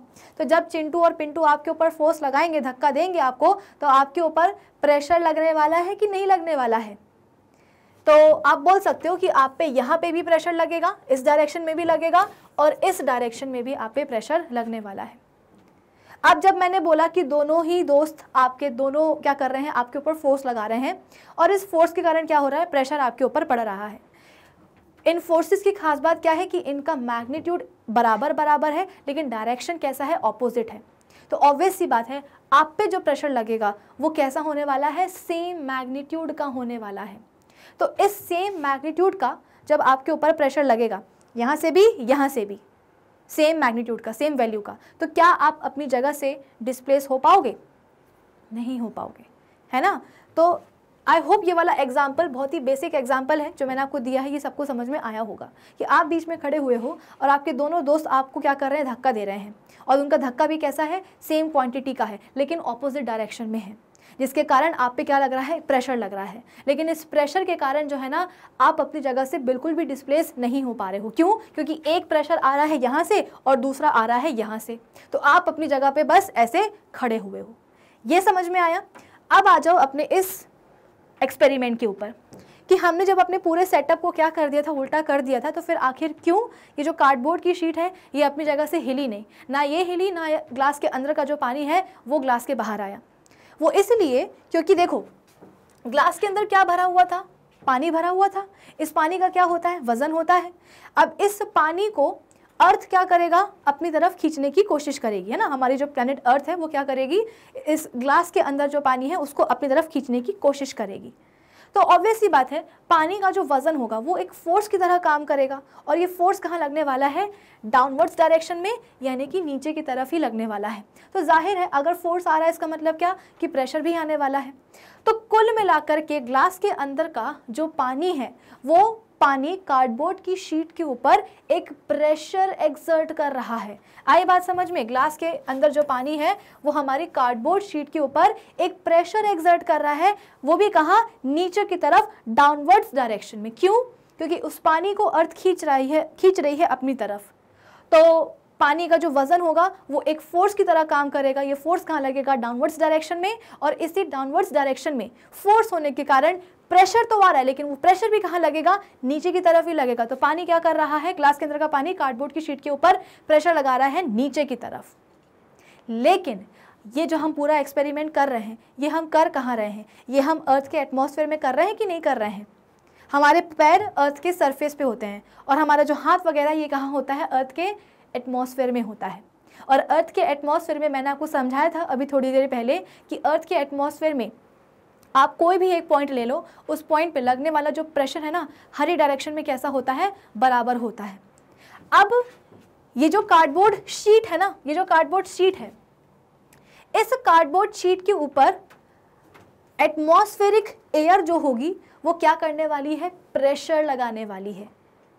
वो भी कहाँ? वो भी हम बोल रहे हैं कि अपवर्ड्स डायरेक्शन में जैसे लिक्विड के लिए हम बोलते हैं कि, कि लिक्विड जो है ना हर एक डायरेक्शन में प्रेशर लगाता है। वैसे ही जो हमारी एयर है ना वो भी हर एक डायरेक्शन में क्या लगाती है? प्रेशर लगाती है। तो ये जो पूरा एक्सपेरिमेंट था ये हम एटमॉस्फेयर में ही कर रहे थे। टेबल पे रख के नहीं कर रहे थे। आई बात समझ में? तो यहाँ पे हम बोल रहे हैं कि जो हमारा कार्डबोर्ड है उसके ऊपर दो प्रेशर लग रहे हैं। एक प्रेशर कौन लगा रहा है? ग्लास के अंदर का पानी और दूसरा प्रेशर कौन लगा रही है? तो हमारे अर्थ के एटमॉस्फेयर की एयर लगा रही है। वो भी कहाँ? ऊपर की तरफ़ अपवर्ड्स डायरेक्शन में। तो जो कंडीशन आपकी थी ना, आप बीच में फंसे हुए थे, आपका सैंडविच बन गया था। सिमिलरली यही कंडीशन किसकी बनी हुई है? अभी कार्डबोर्ड की शीट की बनी हुई है, कि उसके ऊपर दो प्रेशर लग रहे हैं। और ये जो अपवर्ड प्रेशर है ना, जो कि एयर लगा रही है, ये प्रेशर काफ़ी है पानी के द्वारा लगाए गए प्रेशर को बैलेंस करने के लिए। जैसे कि चिंटू पिंटू आप पे सेम प्रेशर लगा रहे थे ना, लेकिन ऑपोजिट डायरेक्शन में, यहाँ पे भी यही ऐसा ही हो रहा है कि कार्डबोर्ड के ऊपर दो प्रेशर लग रहे हैं, एक एयर और दूसरा पानी का। तो एयर का जो प्रेशर है वो इतना सफिशियंट है कि वो पानी के प्रेशर को क्या कर सके बैलेंस कर सके। तो जैसे आप नहीं हिल पा रहे थे, वैसे कार्डबोर्ड की शीट नहीं हिल पाएगी, क्योंकि उसके ऊपर दो प्रेशर लग रहे हैं, दोनों सेम अमाउंट के हैं और दोनों ऑपोजिट डायरेक्शन में तो बेचारी जो कार्डबोर्ड की शीट है ना, वो ऐसे जम के खड़ी रहेगी। अब जब कार्डबोर्ड की शीट अपनी जगह से डिस्प्लेस ही नहीं होगी तो ग्लास के अंदर का जो पानी है, वो कहाँ जाएगा? वो तो वहीं का वहीं रहेगा। यानी कि ग्लास का पानी जो है ग्लास के बाहर नहीं आया। अब क्या करो? अब जो है ना, जो कि मैंने आपको, जैसे बताया था ना मैंने आपको कि आपको डिस्पोजेबल वो लेना है ग्लास लेना है प्लास्टिक वाला। क्यों? क्योंकि मैं ये चाहती हूँ कि अब आप इस ग्लास की जो दीवार है ना, उस पर आप दो तीन छेद कर दो। इन गड्ढों से होने क्या वाला है? इन होल्स से होने क्या वाला है कि ग्लास के अंदर का जो भी पानी भरा होगा ना वो बाहर निकल आएगा। मतलब पूरा पानी नहीं एटलीस्ट थोड़ा पानी तो हम बोलते हैं कि बाहर आ ही जाए। अब जब ग्लास का जो पानी है, जब वो बाहर आएगा तो ऑब्वियसली बात है ग्लास में जगह बन जाएगी। और ये जो ग्लास में जगह बनी है, इस स्पेस को ऑक्यूपाई कौन करेगा? तो हमारी एटमॉस्फेरिक एयर ही ऑक्यूपाई कर लेगी। ठीक है? तो ग्लास के अंदर जो भी पानी के बाहर जाने से पानी के बाहर जाने से जो भी जगह बनी थी, उस स्पेस को ऑक्यूपाई कर लिया क्या किसने? अब हमारी एटमॉस्फेरिक एयर ने। तो अब आपके ग्लास के अंदर एयर तो है ही। मतलब ग्लास के अंदर पानी तो था ही, और अब साथ में कौन आ गई है? एयर भी आ गई है। यानी कि अब ये जो कार्डबोर्ड शीट है ना, अब इसकी बैंड बजने वाली है। क्यों बजने वाली है? क्योंकि अब इसके ऊपर प्रेशर लगाने के लिए, अभी हम ग्लास के अंदर के रिस्पेक्ट में देख रहे हैं। अब ग्लास के अंदर से इस कार्डबोर्ड शीट के ऊपर दो लोग प्रेशर लगाने वाले हैं। एक तो पानी और दूसरी कौन? हमारी एटमॉस्फेरिक एयर तो जो पानी है, वो भी प्रेशर लगाएगी कार्डबोर्ड के ऊपर कहाँ? डाउनवर्ड्स डायरेक्शन में। और इस ग्लास के अंदर जो एयर भरी हुई है, वो एयर भी क्या करने वाली है? कार्डबोर्ड शीट के ऊपर प्रेशर लगाने वाली है कहाँ? डाउनवर्ड्स डायरेक्शन में ही। ऐसा नहीं है कि अब कार्डबोर्ड शीट के ऊपर, जो ऊपर की तरफ़ प्रेशर लग रहा था एयर प्रेशर वो नहीं लग रहा है। वो तो अभी भी लग रहा है, लेकिन अब क्योंकि हमारे ग्लास में एयर और पानी दोनों आ गई है तो दोनों के ही प्रेशर्स क्या हो जाएँगे? कंबाइंड हो जाएँगे और डाउनवर्ड्स डायरेक्शन में लगने वाला जो प्रेशर है, वो बड़ा हो जाएगा किससे? अपवर्ड डायरेक्शन में लगने वाले प्रेशर से। तो अल्टीमेटली होगा क्या? भाई, नीचे की तरफ़ प्रेशर ज़्यादा लग रहा है। ऊपर की तरफ़ प्रेशर कम लग रहा है। तो अल्टीमेटली ये जो कार्डबोर्ड की शीट है ये नीचे आ जाएगी और ग्लास के अंदर का जो पानी है वो भी पूरा का पूरा बाहर आ जाएगा। तो इसे हम कहते हैं क्या? अपसाइड वाटर कप एक्सपेरिमेंट तो ऐसा नहीं है कि एयर जो है ना सिर्फ़ और सिर्फ़ हमेशा नीचे की तरफ़ ही जो है ना आ, प्रेशर लगाती है। नहीं एयर हम बोलते हैं कि ऊपर की तरफ़ भी प्रेशर लगाती है। ये बढ़िया जो है ना एग्ज़ाम्पल मैंने आपको इसका दे दिया है कि इनिशियली हमारा जो सेटअप है, उस, वो बिगड़ क्यों नहीं रहा था? पानी बह क्यों नहीं रहा था? कार्डबोर्ड की शीट निकल क्यों नहीं रही थी? क्योंकि इस कार्डबोर्ड की शीट के ऊपर अंदर से ग्लास के अंदर से पानी प्रेशर लगा रहा था नीचे की तरफ़ और ग्लास के बाहर से एयर ऊपर की तरफ़ फोर्स प्रेशर लगा रही थी। जिसके कारण जो कार्डबोर्ड की शीट है, वो अपने अपने एक प्रॉपर पोजीशन पे जो है ना जमी हुई थी। लेकिन जब हमने जो हमारे पास ग्लास था, उसकी दीवारों पे हमने कुछ छेद करे और छेद से जो है पानी का पूरा का पूरा बाहर आ गया। पूरा नहीं, थोड़ा बहुत बाहर आ गया। तो अब जो जगह बनी थी ग्लास के अंदर, उस जगह में कौन आ गई है? एटमॉस्फेरिक एयर आ गई है। तो अब ग्लास के अंदर पानी भी है एयर भी है।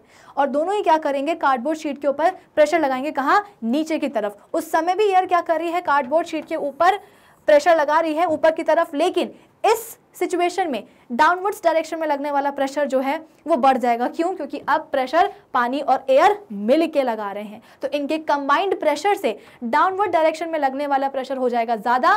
किससे? अपवर्ड डायरेक्शन में लगने वाले प्रेशर से, जिसके कारण अल्टीमेटली भाई, जो ज़्यादा होगा चलेगी उसकी। अगर डाउनवर्ड डायरेक्शन में लगने वाला प्रेशर ज़्यादा है तो अल्टीमेटली जो कार्डबोर्ड की शीट है, वो नीचे ही आएगी। अगर किसी दिन चिंटू ने ज़्यादा प्रेशर लगा दिया तो आप तो धक्का खा करके पिंटू की तरफ़ ही जाओगे ना। तो सिमिलरली जब डाउनवर्ड्स डायरेक्शन में लगने वाला प्रेशर बड़ा हो जाएगा अपवर्ड डायरेक्शन में लगने वाले प्रेशर से तो कार्डबोर्ड की शीट जो है वो नीचे आ जाएगी और पूरा का पूरा पानी बाहर आ जाएगा। क्लियर है? चलिए। तो आई होप ये वाला एक्सपेरिमेंट सबको समझ में आया होगा। इसे हम कहते हैं क्या? अपसाइड वाटर कप एक्सपेरिमेंट चलिए, अब हम आ जाते हैं आगे। आगे हमारे पास क्या है? एक और एक्सपेरिमेंट है। ये एक्सपेरिमेंट करने क्या वाला है?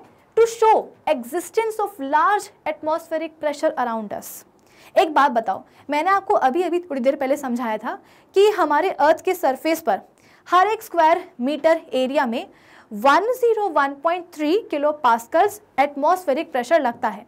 या अगर एम में देखें तो अर्थ के सरफेस में अर्थ के सरफेस में, हर एक मीटर स्क्वायर एरिया में 760 sixty M M H G atmospheric pressure लगता है। और मैंने आपको ये भी बताया था कि ये जो एटमॉस्फेरिक प्रेशर है, ये सिर्फ़ अर्थ के सरफेस पे नहीं लगता है। अर्थ के सरफेस पे प्रेजेंट हर एक चीज़ पे यही एटमॉस्फेरिक प्रेशर लगता है। यानी कि हमारी बॉडी पे भी 101.3 किलो पास्कल्स एटमॉस्फेरिक प्रेशर लग रहा है 760 सिक्सटी एम प्रेशर लग रहा है। लेकिन फिर भी इस इतने बड़े से प्रेशर को हम रियलाइज़ क्यों नहीं कर पा रहे हैं? इस बड़े से प्रेशर का हम पे कोई असर क्यों नहीं दिखाई दिखाई दे रहा है? इतने से इतने सारे यू नो बड़े आ, प्रेशर के कारण हमें तो जो है ना क्रश हो जाना चाहिए था। इनफैक्ट हमने ये स्टेटमेंट पढ़ा भी था कि ये जो प्रेशर होता है ना ये किसके बराबर होता है? देखो यहाँ पे क्या लिखा गया था। ये जो प्रेशर है ये बराबर होता है दस हाथियों के वज़न के बराबर। है ना? कहाँ गई वो वाली लाइन वो मुझे दिख नहीं रही है। तो हमने ये चीज़ पढ़ी हुई है कि देखो एटमॉस्फेरिक प्रेशर जो है on the surface of the earth कितना है? इतना है which is equivalent to the weight of ten elephants pressing on each square metre area तो अगर हमारी बॉडी पर 10 हाथियों के वज़न के बराबर प्रेशर लग रहा है तो आखिर ये प्रेशर हमें फील क्यों नहीं होता है? ये एक बहुत ही बड़ा सा क्वेश्चन मार्क है और इस क्वेश्चन मार्क को हम आज इस क्वेश्चन मार्क को हम आज के इसी सेशन में जो है ना मिटाएँगे। कैसे मिटाएँगे? इस एक्सपेरिमेंट को पढ़ लो पहले इसके बाद में मैं आपको समझाती हूँ। तो बेसिकली ये जो हमारे पास एक्सपेरिमेंट आया है ये हमें यही समझाने की कोशिश कर रहा है कि हमारे आसपास जो बड़ा सा एटमॉस्फेरिक प्रेशर है ना इसका सिग्निफिकेंस क्या है इसकी वैल्यू क्या है।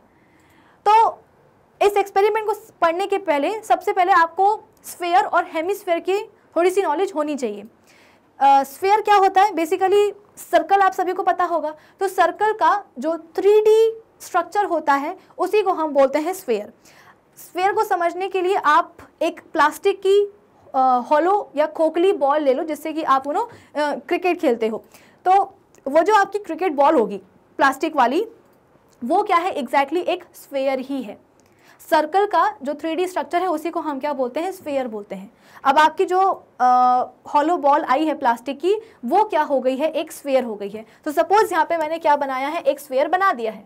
अब इस स्फेयर को मैंने क्या करा है? दो इक्वल भागों में डिवाइड कर दिया है। दो इक्वल भागों में मैंने इसको बांट दिया है। तो हर एक भाग को अब मैं पता है क्या बोलूँगी? अब मैं बोलूँगी हेमीस्फेयर क्या बोलूँगी? हेमीस्फेयर क्यों बोल रही हूँ हेमीस्फेयर क्योंकि देखो, आपके पास एक कंप्लीट स्फेयर था, उसको आपने दो इक्वल भागों में डिवाइड कर दिया। हेमी का मतलब क्या होता है? आधा। तो आपने एक बड़े से स्फेयर को टू इक्वल पार्ट्स में डिवाइड कर दिया है, यानी कि आपके पास अब आधा आधा स्पेयर आ गया है तो इस आधे आधे स्पेयर को हम क्या बोलते हैं? हेमीस्फेयर्स बोलते हैं। ये हो गया एक हेमीस्फेयर और ये हो गया आपका दूसरा हेमीस्फेयर क्या आपको समझ में आया? स्फेयर का अगर स्ट्रक्चर आपको समझना है तो आप अपने घर में जो आपकी नॉर्मल प्लास्टिक की खोखली बॉल होती है, आप उसको देखो। वही है क्या एक स्फेयर हॉलो स्फेयर है, खोखला स्फेयर है। उसको जब आप टू इक्वल पार्ट्स में डिवाइड करते हो तो आपके पास दो आधे आधे स्फेयर्स आ जाते हैं, जिनको हम क्या कहते हैं? दो हेमीस्फेयर्स कहते हैं। तो यहाँ पे क्या बोला गया है? हेमीस्फेयर्स का मतलब क्या है? हाफ़ स्फेयर्स तो जब हम दो हेमीस्फेयर्स को ज्वाइन करते हैं तो मिलके क्या बन जाता है? एक कंप्लीट स्फेयर बन जाता है। ठीक है? चलो। अब हम बात करते हैं एक्सपेरिमेंट की। मैकडी बर्ग एक्सपेरिमेंट एक्सपेरिमेंट का नाम भी तो होना चाहिए ना? क्या नाम है? तो मैकडी बर्ग हेमिस्फेयर एक्सपेरिमेंट है। टू शो किसके लिए हम कर रही हैं? To show large atmospheric pressure large atmospheric pressure को बताने के लिए, समझाने के लिए, सिखाने के लिए हम करने वाले हैं या हम पढ़ने वाले हैं मैकडीबर्ग हेमिस्फेयर एक्सपेरिमेंट। इसमें हुआ क्या? द अपेरेटस सबसे पहले जब भी आप कोई एक्सपेरिमेंट करते हो तो अपेरेटस तो चाहिए ही होता है। The apparatus consist of two hollow copper hemispheres A and B of 51 centimetre diameter each यानी कि आपको क्या करना है? दो कॉपर के बने हुए हेमिस्फेयर्स लेने हैं। ठीक है ना? कॉपर के बने हुए आपको क्या करने हैं? अगर मैं हेमिस्फेयर बनाऊँ तो कुछ ऐसा बनेगा ना? आपको दो कॉपर के बने हुए, ये तो हेमिस्फेयर नहीं बने, कुछ अलग ही बन गया कॉपर के बने हुए आपको दो हेमिस्फेयर लेने हैं। और हर एक हेमिस्फेयर का जो डायामीटर है, वो कितना है? 51 सेंटीमीटर है। ये भी 51 और ये भी हम बोल रहे हैं कि 51 सेंटीमीटर ठीक है? तो मैकडीबर्ग हेमिस्फेयर एक्सपेरिमेंट को परफॉर्म करने के लिए हम एक्स अपेरेटस कैसे अपना प्रिपेयर कर रहे हैं? हमने दो हेमिस्फेयर्स लिए हैं। ए और बी दोनों किसके बने हैं? कॉपर के बने हैं। और दोनों का ही जो डायमीटर है वो कितना है? 51 51 सेंटीमीटर है। Now each hemisphere has a hook attached to it अब हम क्या करेंगे? दोनों ही स्फेयर में एक एक हुक अटैच कर देंगे। ठीक है ना? एक एक हुक हमने जो है ना अटैच कर दिया है कुछ इस तरीके से। चलिए, अब इसके बाद में आगे बढ़ जाते हैं। One of the hemisphere has also a side tube which can be connected to a vacuum pump और इनमें से आप बोल सकते हो कि एक जो हेमिस्फेयर है, इसमें क्या कनेक्टेड है? एक ट्यूब भी कनेक्टेड है। साइड ट्यूब जिससे हम क्या कर सकते हैं? एक वैक्यूम पंप को कनेक्ट कर सकते हैं। ठीक है? Now the two hemispheres are tight fitting and become air tight when join together जो आपकी एयर टाइट बर्तन आते हैं ना टपरवेयर वाले, कि उसके अंदर कोई भी सामान रख दो और इसके बाद में उसको पैक कर दो तो उस डब्बे के अंदर बिल्कुल भी जो है ना एयर नहीं जाती है। सिमिलरली आपके पास ये जो दो कॉपर के हेमिसफेयर्स आए हैं, इनको जब आप ज्वाइन करते हो ना तो ये इतने टाइटली पैक हो जाते हैं कि ये एयर टाइट हो जाते हैं, यानी कि इन दोनों ही कॉपर के हेमिस्फेयर्स को ज्वाइन करने पर। वही आपके पास दो हेमिसफेयर हैं, उनको जब आप ज्वाइन करोगे तो आपके पास एक स्फेयर बन जाएगा ना कंप्लीट स्फेयर तो जब आप दो आ, आप बोल सकते हो कि हेमिस्फेयर को ज्वाइन करके एक कंप्लीट स्फेयर बनाओगे ना तो ये कंप्लीट स्फेयर क्या बन जाएगा? एयर टाइट बन जाएगा। इसमें या आप बोल सकते हो कि इसमें ज़रा भी जो है ना बाहर की एयर अंदर नहीं जा पाएगी। क्लियर है? चलिए कि when air is present inside the joint hemisphere they can be easily separated bowling with a small force. जब हम दो हेमिस्फेयर्स को क्या करते हैं ज्वाइन करते हैं, उससे एक कंप्लीट स्फेयर जो ना बना देते हैं। कंप्लीट स्फेयर बनाने के बाद हुआ क्या? जब इन दोनों ही हेमिस्फेयर को फिर से हम पकड़ करके खींचने की कोशिश करते हैं और इनको अलग करने की कोशिश करते हैं ये समझ में आ रहा है ना आपको कि आपने करना क्या है? कॉपर के बने हुए दो हेमिस्फेयर लेने हैं। दोनों का जो डायमीटर है वो कितना है? 51 51 सेंटीमीटर है। जब ये दोनों आपस में ज्वाइन होते हैं तो ये एयर टाइट स्फेयर जो है ना बना लेते हैं। यानी कि उस स्फेयर में अब बिल्कुल भी जो है ना एयर बाहर से अंदर नहीं जाती है। तो जब हम दो हेमिस्फेयर को ज्वाइन करते हैं, उनको कंबाइन करते हैं तो वो एयर टाइट स्फेयर बना लेते हैं। इसके बाद में ये जो हमने दो हुक्स बनाए हैं, दोनों ही हेमिस्फेयर के ऊपर, इन दोनों ही हुक्स में हम क्या करते हैं? फोर्स लगा करके इन दोनों ही हेमिस्फेयर्स को फिर से अलग अलग करने की कोशिश करते हैं तो ये हेमिसफेयर बहुत ही आसानी से अलग हो जाते हैं। कब? जब इन दोनों ही हेमिसफेयर के बीच में क्या प्रेजेंट हो? एयर प्रेजेंट हो। यानी कि जब आपने हेमिस्फेयर्स को ज्वाइन किया है तो एक स्फीयर बन गया। उस स्फीयर के अंदर क्या है? एयर है। फिर उस स्फीयर के, दोनों ही हेमिस्फीयर को हम जब फिर से फोर्स लगा करके अलग करने की कोशिश करते हैं तो वो आसानी से एक दूसरे से सेपरेट हो जाते हैं। क्यों हो जाते हैं? क्योंकि उनके अंदर क्या भरी हुई थी? स्फीयर के अंदर क्या भरी हुई थी? एयर भरी हुई थी। अब आप बोलोगे कि मैम एयर के भरे होने से क्या होता है? अभी समझाती हूँ मैं डायग्राम से। ये देखो यहाँ पे हुआ क्या? कि, कहाँ गया वो वाला डायग्राम ये। कि ये था क्या आपका एक कंप्लीट स्फेयर उसके अंदर हवा भरी हुई थी। अब आप खुद बताओ। मैंने आपको सेशन की स्टार्टिंग में बता दिया था कि बलून में जब हम हेयर एयर फिल करते हैं बलून के अंदर जब हम एयर डालते हैं तो बलून जो है ना, वो फूल क्यों जाता है? इसीलिए फूल जाता है क्योंकि जब उसमें हम एयर डालते हैं तो एयर के पार्टिकल्स जो हैं रैंडमली मूव करना शुरू करते हैं कोलाइड करना शुरू करते हैं आपस में भी और बलून की दीवारों के साथ भी। तो जब वो कोलाइड करेंगे बलून की दीवार के साथ लगाएँगे एक फोर्स इस फोर्स के कारण हम बोलते हैं कि प्रेशर लग जाएगा किसके ऊपर? बलून की दीवार के ऊपर। अब बलून की दीवार कैसी है? स्ट्रेचेबल है। तो इस प्रेशर के कारण जो बलून की दीवार है वो क्या हो जाएगी? स्ट्रेच हो जाएगी और, जो हमारा बलून है वो पूरा फूल जाएगा।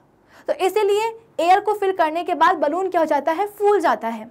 सिमिलरली अब जिस समय हमने दो हेमिस्फेयर्स को ज्वाइन करके एक स्फेयर बनाया है तो उस स्फेयर के अंदर क्या है? एयर है अभी। तो एयर क्या करती है?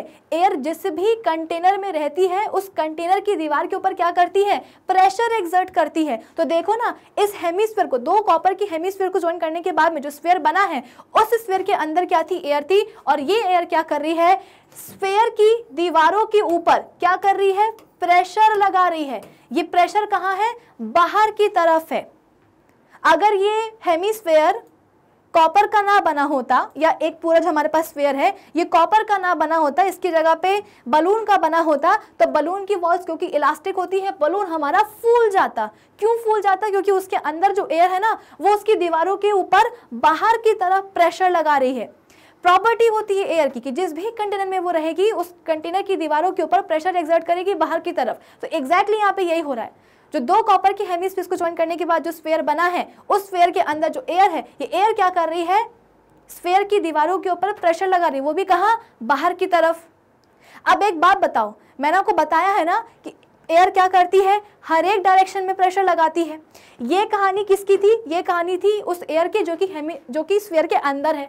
अब हम बात करेंगे उस एयर की जो कि कहाँ है? स्फेयर के बाहर है।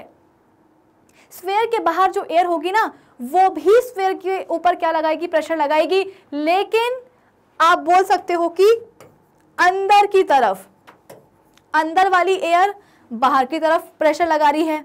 बाहर वाली एयर अंदर की तरफ़ प्रेशर लगा रही है, यानी कि स्फेयर के बाहर जो एयर है ना, वो कुछ इस तरीके से प्रेशर लगा रही है स्फेयर के ऊपर कि स्फेयर क्या हो जाए?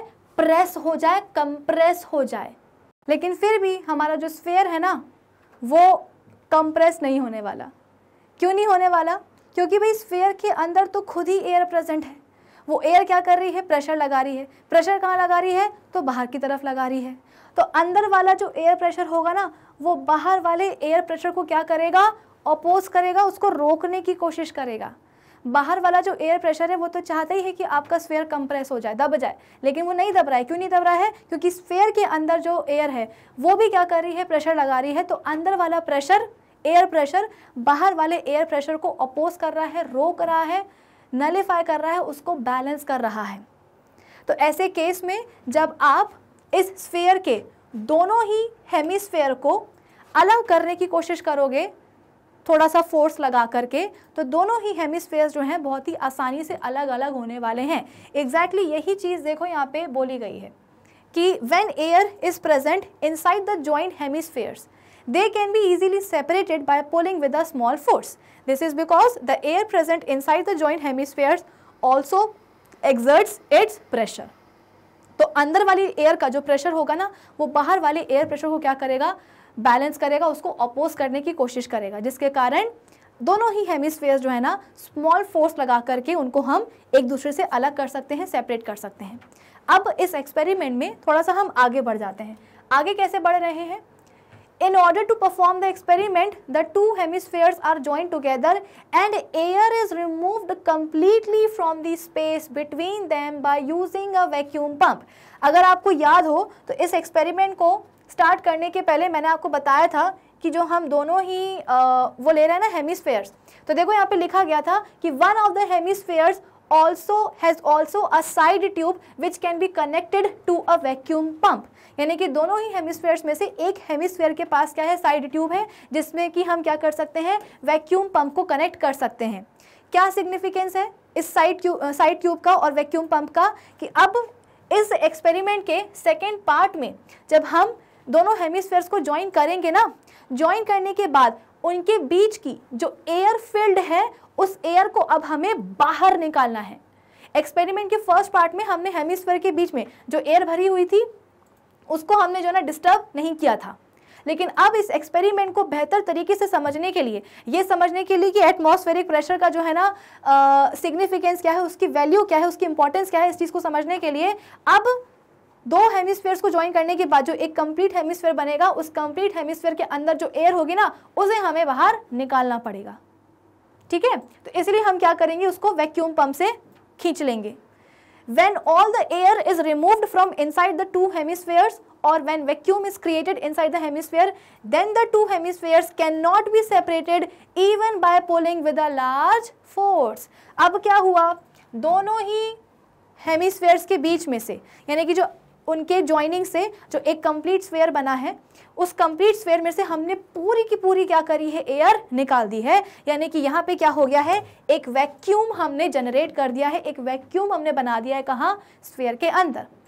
अब इस केस में जब हम दोनों ही हेमिस्फेयर्स को खींचने की सेपरेट करने की कोशिश करेंगे ना तो नहीं होने वाले हैं ये सेपरेट क्यों नहीं होने वाले हैं? क्योंकि अब इस स्फेयर के ऊपर सिर्फ़ और सिर्फ़ कौन सा एयर प्रेशर लगने वाला है? बाहर वाला एयर प्रेशर लगेगा।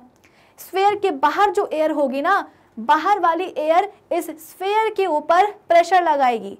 कहाँ प्रेशर लगाएगी? तो अंदर की तरफ़ लगाएगी।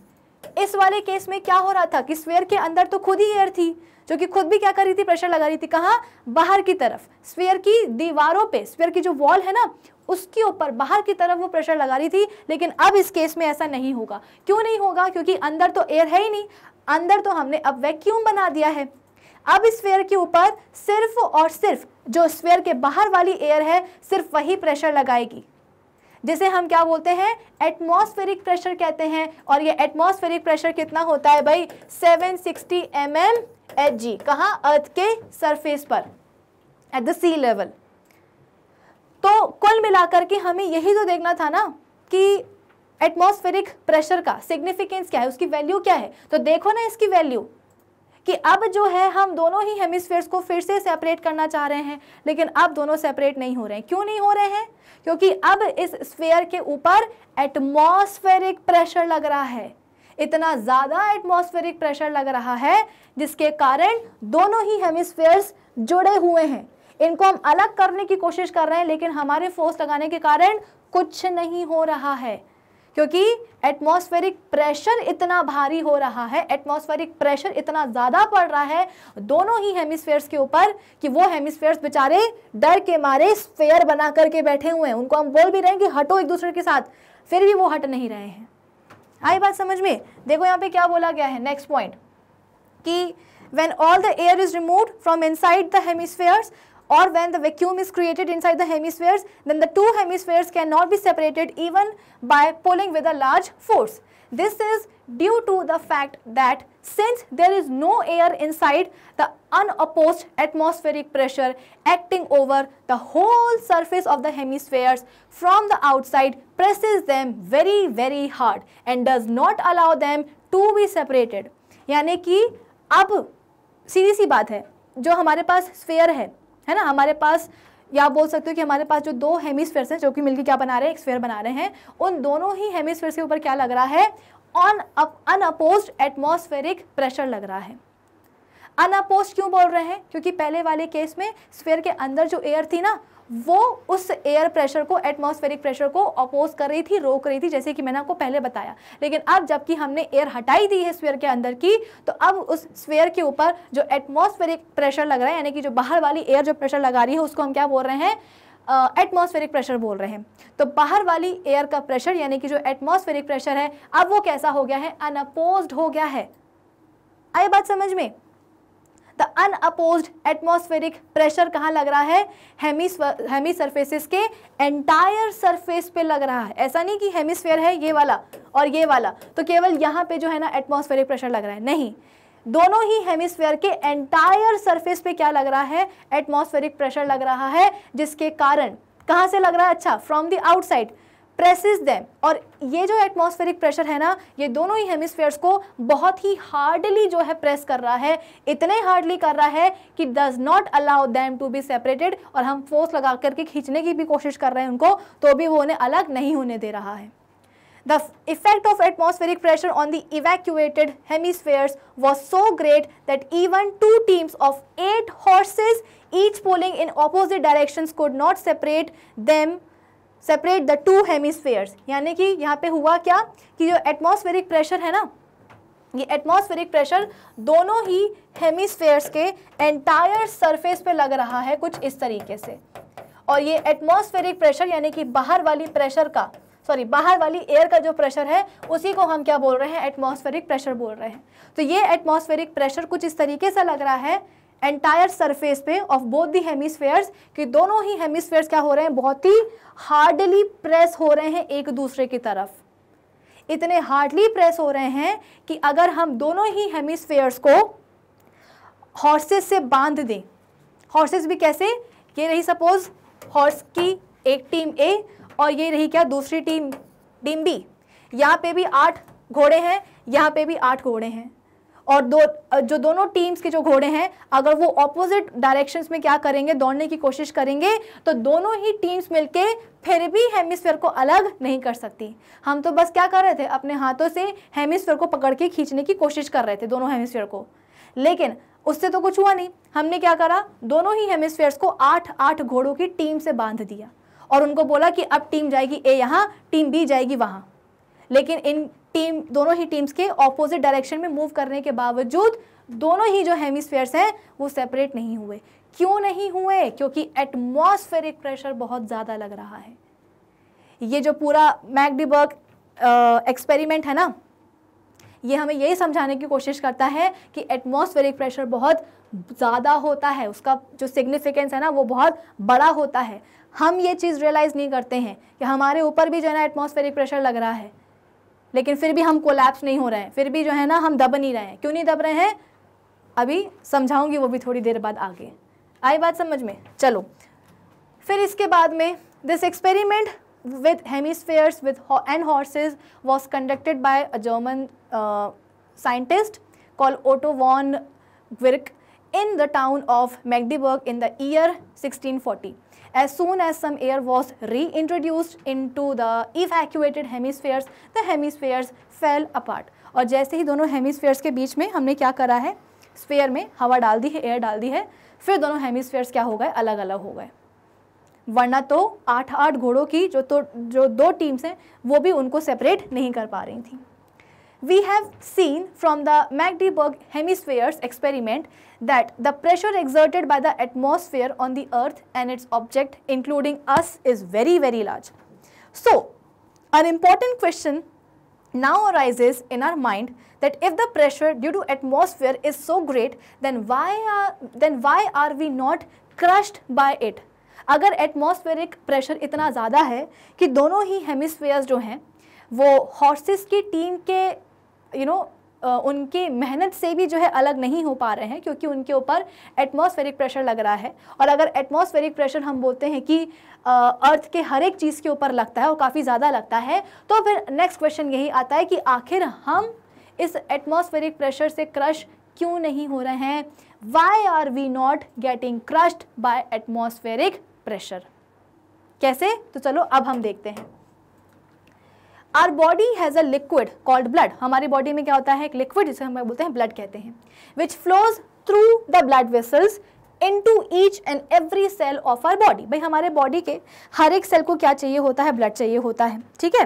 तो सीधी सी बात है, हमारी पूरी बॉडी में ब्लड फ्लो होता है। कैसे फ्लो होता है? तो हमारी बॉडी में ब्लड वेसल्स होती हैं और इन्हीं ब्लड वेसल्स में ब्लड फ्लो होता है। Our blood blood itself exert a pressure called blood pressure, which is slightly greater than the atmospheric pressure. और हमारी ब्लड वेसल्स में फ्लो होने वाला जो ब्लड है, वो खुद ब्लड क्या करता है? जिन वेसल्स में वो फ्लो हो रहा होता है, उन वेसल्स के ऊपर वो प्रेशर एग्जर्ट करता है, जिसे हम क्या बोलते हैं? ब्लड प्रेशर कहते हैं। आपने से कई बार जो है ना, आपके घर में अगर ग्रैंड पेरेंट्स होंगे या मम्मी पापा होंगे तो आपने उनको बोलते हुए सुना होगा कि यार, आज जो बीपी है ना बीपी मतलब क्या? ब्लड प्रेशर वो लो हो गया है. या बीपी हम बोल रहे हैं कि बढ़ गया है. अगर कुछ घर में टेंशन वाली बात हो गई है, पापा को गुस्सा आ गया, मम्मी को गुस्सा गुस्सा आ गई है तो फिर वो बोलेंगे कि आज तो हमारा जो है ना बीपी बढ़ गया. बीपी मतलब क्या? ब्लड प्रेशर बढ़ गया, यानी कि ब्लड वेसल्स के अंदर जो ब्लड बह रहा है, उस ब्लड ने वेसल्स के ऊपर कुछ ज़्यादा ही प्रेशर लगा दिया. तो ये जो हमारी बॉडी में ब्लड वेसल्स के अंदर ब्लड फ्लो हो रहा होता है और ये जो ब्लड ब्लड प्रेशर लगाता है, ये ब्लड प्रेशर कैसा होता है? स्लाइटली ग्रेटर होता है देन दी एटमॉस्फेरिक प्रेशर हमें यही तो जानना है कि आखिर इस एटमॉस्फेरिक प्रेशर से हम क्रश क्यों नहीं हो रहे हैं? कि अगर हम यहाँ खड़े हैं अर्थ की सरफेस पे और अर्थ की सरफेस पे हम पे क्या लग रहा है? एटमॉस्फेरिक प्रेशर लग रहा है। Atmospheric pressure AP AP AP AP मतलब क्या? एटमॉस्फेरिक प्रेशर तो आखिर इस एटमॉस्फेरिक प्रेशर के कारण हम दब क्यों नहीं रहे हैं? तो सीधी सी बात है, बता दिया गया हमको कि हमारी बॉडी में तो खुद ही ब्लड फ्लो होता है। कहाँ ब्लड वेसल्स में? और ये ब्लड क्या करता है? ब्लड वेसल्स के ऊपर प्रेशर लगाता है, उसको बोलते हैं? ब्लड प्रेशर बोलते हैं। और ये जो बीपी है, ये बड़ा हो जाता है किससे? एपी से, यानी कि हमारे एटमॉस्फेरिक प्रेशर से। Since the atmospheric pressure and acting on our body from outside is balanced by the blood pressure acting from inside. We do not get crushed. यानी कि हमारी बॉडी के बाहर से जो हम, हमारे ऊपर एटमॉस्फेरिक प्रेशर लग रहा है, उसको बैलेंस करने के लिए कौन है? हमारी बॉडी का ब्लड प्रेशर है। जैसा कि यहाँ पे लिखा गया है कि since the atmospheric pressure acting on our body from the outside is balanced कौन बैलेंस कर रहा है? तो हमारे बॉडी का blood pressure acting from inside we do not get crushed इसलिए हम क्रश नहीं हो पा रहे हैं। क्योंकि बाहर की तरफ़ से लगने वाला प्रेशर अंदर की तरफ़ से लगने वाले प्रेशर से क्या हो रहा है? बैलेंस हो रहा है। Actually the atmospheric pressure is so finely balanced by our blood pressure that we do not feel any discomfort मतलब कि ब्लड प्रेशर और एटमॉस्फेरिक प्रेशर दोनों ही एक दूसरे को क्या कर रहे हैं? बैलेंस कर रहे हैं और उनकी बैलेंसिंग भी इतनी स्मूथ होती है कि हम ये चीज़ जो है ना रियलाइज़ ही नहीं करते। कभी आपको ऐसा लगा है कि हमारी जो, हमारे ब्लड वेसल्स के अंदर जो ब्लड हो रहा है, जो ब्लड फ्लो कर रहा है, वो ब्लड क्या कर रहा है? एटमॉस्फेरिक प्रेशर को रोकने की कोशिश कर रहा है। नहीं होता। हमें कोई डिस्कम्फर्ट फील ही नहीं होता। हम इस चीज़ को रियलाइज़ ही नहीं करते हैं। We even do not feel the existence of atmospheric pressure at all हम तो जो है ना एटमॉस्फेरिक प्रेशर के एग्जिस्टेंस को तक फील नहीं कर पाते हैं। अब क्या यहाँ पे बोला जा रहा है? तो ये आपको समझ में आ गया कि आ, हमारे हम जो है ना एटमॉस्फेरिक प्रेशर से क्रश क्यों नहीं हो पाते हैं? क्योंकि हमारी बॉडी के अंदर खुद में क्या है? ब्लड प्रेशर है। तो ये ब्लड प्रेशर बाहर के एटमॉस्फेरिक प्रेशर को बैलेंस करेगा और कुछ ऐसे बैलेंस करेगा कि हमें रियलाइज़ भी नहीं होगा हमें कोई भी डिस्कम्फर्ट फील नहीं होगा। ठीक है? तो इसलिए हम क्रश नहीं होते हैं। अब यहाँ पे क्या बोला जा रहा है? Effects of low pressure effects of low atmospheric pressure on our body अब हम लो एटमॉस्फेरिक प्रेशर का हमारी बॉडी पे क्या असर पड़ता है, वो हम देख रहे हैं। The atmospheric pressure is maximum on the surface of the earth तो जैसा कि हम सबको पता है कि अर्थ के सर्फेस में एटमॉस्फेरिक प्रेशर कैसा होता है? मैक्सिमम होता है। When we go to high altitudes, say a high mountain, then the atmospheric pressure जैसे कि मैंने आपको बताया कि जैसे ही आप अर्थ के सरफेस से अर्थ सरफेस से जैसे ही जो है ना आप ऊपर उठोगे और एटमॉस्फेयर में जाओगे तो एटमॉस्फेयर में आगे जाते जाते जाते, यानी कि अर्थ सरफेस से दूर होते होते होते आपके ऊपर जो एटमॉस्फेरिक प्रेशर लगने वाला है, वो क्या हो जाएगा? कम हो जाएगा। एग्ज़ाम्पल मैंने आपको दिया था ना कि आप खड़े हो यहाँ पे अर्थ के सरफेस पे। और अर्थ के सरफेस पे क्या है? ये बड़ा सा माउंटेन है। माउंटेन के टॉप पे बिल्कुल हाइट पे कौन खड़ा है? आपका दोस्त खड़ा है। तो आपके दोस्त और आप में ज़्यादा एटमॉस्फेरिक किस पे लगेगा? तो आप बोलोगे कि मैम हम पे लगेगा। क्यों? क्योंकि हम तो अर्थ के सरफेस पे खड़े हैं और अर्थ के सरफेस पे क्या होता है? प्रेशर एटमॉस्फेरिक प्रेशर मैक्सिमम होता है। तो आप बोलोगे कि मैम हमारा जो दोस्त है, वो भी तो पहाड़ पे खड़ा है ना? और पहाड़ भी क्या है? अर्थ के सरफेस पे तो है। हाँ पहाड़ अर्थ के सरफेस पे है, लेकिन पहाड़ का जो बेस है माउंटेन का जो बेस है, वो अर्थ के सरफेस से जुड़ा हुआ है। बाकी उसका जो टॉप है, उसका जो टॉप है, वो तो अर्थ के सरफेस पे नहीं है ना?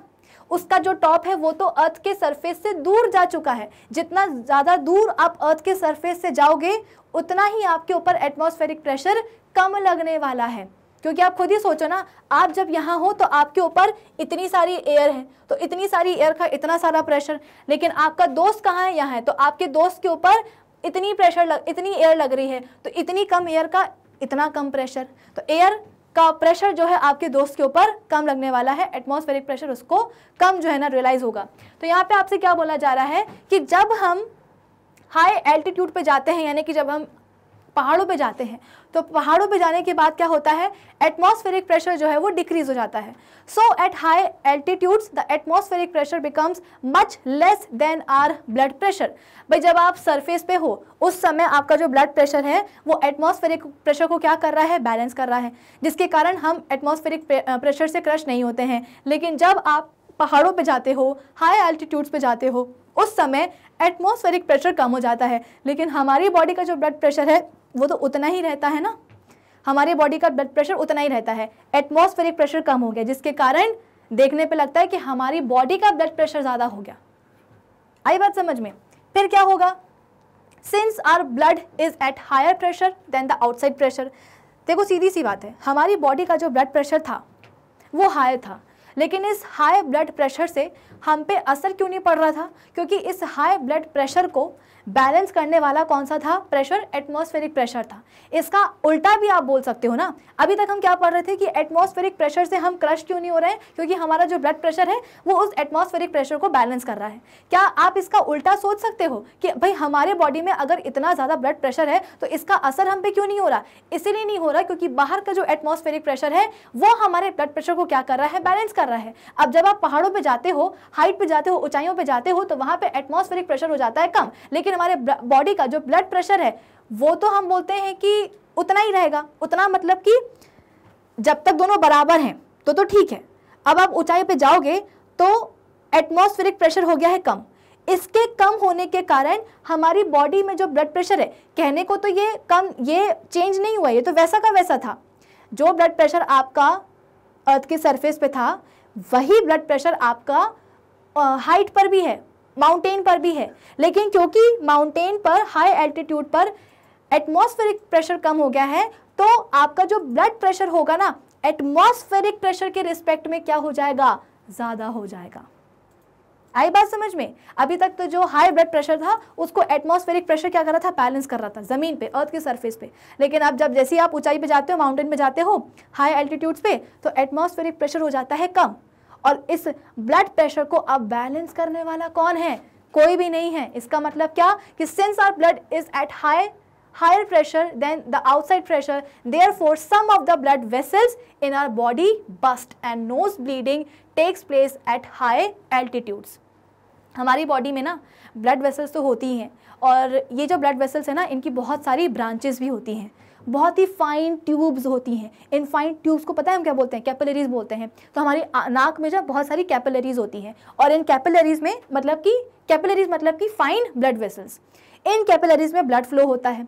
ये ब्लड क्या करेगा? कैपिलरीज की दीवार के ऊपर प्रेशर लगाएगा, जिसको क्या बोलेंगे? ब्लड प्रेशर बोलेंगे। अब जैसे हम पहाड़ों में गए, नाक से खून आने लगा। क्यों आने लगा? क्योंकि जब तक हम सरफेस पे थे, जब तक हम ग्राउंड पे थे, उस समय तक तो आप बोल सकते हो कि ब्लड प्रेशर को एटमॉस्फेरिक प्रेशर ने मेंटेन किया था बैलेंस किया था।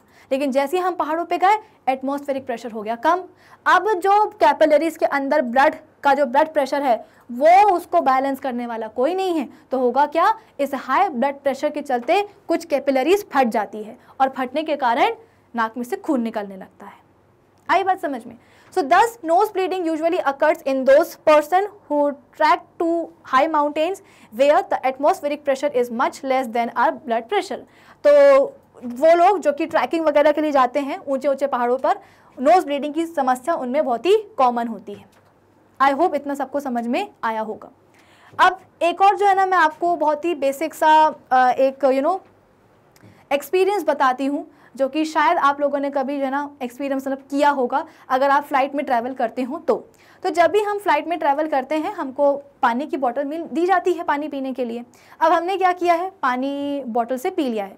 पूरा नहीं पिया है सपोज़ थोड़ा बहुत ही पिया है। तो पानी आपकी बॉटल में कम हो गया, है ना? तो वहाँ पे जगह बन गई। उस स्पेस को कौन ऑक्यूपाई कर लेगा? एरोप्लेन की, फ़्लाइट की जो एयर होगी, वो ऑक्यूपाई कर लेगी। तो आपने पानी पिया बॉटल में से पानी में मतलब बॉटल में जगह बन गई और उस जगह में हम बोलते हैं कि फ़्लाइट की जो एयर है, वो आकर के बैठ गई। अब फ़्लाइट की जो एयर है, वो कैसी होती है? कम प्रेशर पे होती है। क्यों? क्योंकि फ़्लाइट तो भैया अर्थ के सरफेस के ऊपर उड़ता है ना। तो जैसे जैसे सरफेस से दूर जाओगे एयर प्रेशर कम होगा ना तो फ़्लाइट के अंदर जो एयर होगी, उसका प्रेशर कैसा होगा? कम होगा। ठीक है? सीधी सी बात है। तो आपकी ये जो वाटर बॉटल है, इसके अंदर जो एयर भरी हुई है, वो एयर कैसी है? कम प्रेशर वाली है। आई बात समझ में? अब क्या होगा? जैसे ही हम लैंड करेंगे एरोप्लेन जैसे ही हम बोलते हैं कि अर्थ पर आएगा लैंड करेगा, और जैसे ये बॉटल कहाँ आएगी? अर्थ पर आएगी अर्थ के सरफेस पे आएगी। ये जो बॉटल होगी ना, ये कुछ इस तरीके से क्रश हो जाएगी। क्यों क्रश हो जाएगी? क्योंकि अब ये कहाँ आ चुकी है? लैंड पर आ चुकी है। अर्थ के सरफेस पे आ चुकी है और अर्थ के सरफेस पे एटमॉस्फेरिक प्रेशर कैसा होता है? मैक्सिमम होता है। तो इस बॉटल के आसपास जो एयर होगी, वो क्या करेगी? एयर प्रेशर लगाएगी, वो भी कैसा? मैक्सिमम वाला। और इस मैक्सिमम एयर प्रेशर के कारण जो बॉटल है ना, वो एकदम चपड़ जाएगी, यानी कि एकदम श्रिंक हो जाएगी। आप बोलोगे कि मैम, ये जो श्रिंकेज है, ये फ़्लाइट के अंदर क्यों नहीं हो रहा था? इसलिए नहीं हो रहा था क्योंकि फ़्लाइट के अंदर पूरी की पूरी एयर कैसी थी? कम प्रेशर पे थी। है ना? तो जैसे कि हमने हेमिस्फेयर वाला एक्सपेरिमेंट देखा था कि आपकी ये क्या है? पानी की बॉटल है। इस पानी की बॉटल के अंदर जो एयर भरी थी भाई आपने पानी पिया था ना? तो पानी पीने के बाद इसके अंदर एयर आ गई थी। एयर भी कौन सी थी? एरोप्लेन वाली थी। मतलब कि वो, उसका प्रेशर कैसा था? कम ही था। तो एयर के बॉटल के अंदर जो एयर आई थी, वो एयर क्या कर रही थी? बॉटल की दीवारों के ऊपर बाहर की तरफ़ प्रेशर लगा रही थी। At the same time aeroplane की जो एयर है, वो एरोप्लेन की एयर क्या कर रही थी? बॉटल के ऊपर अंदर की तरफ़ प्रेशर लगा रही थी। अंदर वाली एयर बाहर की तरफ़ प्रेशर लगाएगी, बाहर वाली एयर अंदर की तरफ़ प्रेशर लगाएगी। तो दोनों ही प्रेशर मतलब दोनों ही जो एयर प्रेशर लग रहे हैं, वो क्या कर रहे थे? एक दूसरे को बैलेंस कर रहे थे, जिसके कारण हमारी जो बॉटल है एयरप्लेन के अंदर वो चिपकी नहीं वो श्रिंक नहीं हुई वो क्रश नहीं हुई। लेकिन जैसे ही हम सरफेस पे आए धरती पे वापस लौटे अर्थ पे वापस आए इसकी सरफेस पे आए तो सरफेस पे आकर के हम बोलेंगे कि एटमॉस्फेरिक कैसा प्रेशर जो है ना कैसा लगने वाला है? ज़्यादा लगने वाला है। ऐसा नहीं है कि बॉटल के अंदर जो एयर है वो आ, चली गई थी कहीं कि उसने जो है ना एयर प्रेशर लगाना छोड़ ही दिया था। नहीं। बॉटल के अंदर एयर थी, लेकिन वो एयर कौन सी वाली थी? वो एयर थी एरोप्लेन वाली, यानी कि वो कम प्रेशर वाली एयर थी बॉटल के अंदर। तो बॉटल के अंदर जो एयर थी, वो आप बोल सकते हो कि कम प्रेशर लगा रही थी। और बॉटल के बाहर जो एयर आई, वो क्या कर रही थी? ज़्यादा प्रेशर लगा रही थी। और इस ज़्यादा प्रेशर के कारण अल्टीमेटली जो हमारी बॉटल है, वो क्या हो जाएगी? क्रश हो जाएगी। आई बात समझ में? आपके पास अगर एक खाली बॉटल हो, बिस्लेरी वाली प्लास्टिक वाली, अगर आप क्या करोगे, उसको सक करोगे। सक करने के बाद क्या होता है? उसकी पूरी की पूरी जो एयर है, वो बाहर निकल आती है। तो जैसे आप उसकी अंदर की एयर बाहर निकालते हो वाटर बॉटल अपने आप जो है ना क्रश हो जाती है। क्यों क्रश हो जाती है? क्योंकि बाहर का जो एटमॉस्फेरिक प्रेशर है, वो उस बॉटल को क्रश कर देता है। आप बोलोगे कि, मैम, जिस समय हमने उसके अंदर की एयर नहीं निकाली थी उस समय क्यों वाटर बॉटल को जो है ना एटमॉस्फेरिक एयर क्रश नहीं कर पा रही थी?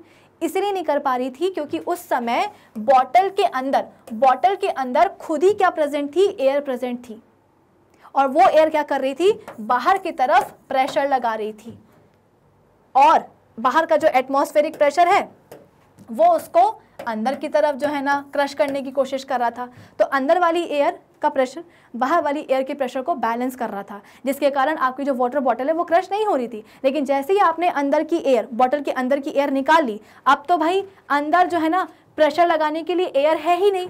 अब जब प्रेशर लगाने के लिए एयर है ही नहीं तो बाहर का जो एटमॉस्फेरिक प्रेशर होगा ना, ये एटमॉस्फेरिक प्रेशर इजीली हमारी वाटर बॉटल को क्या कर सकता है? क्रश कर सकता है। आई होप इतना सबको समझ में आया होगा।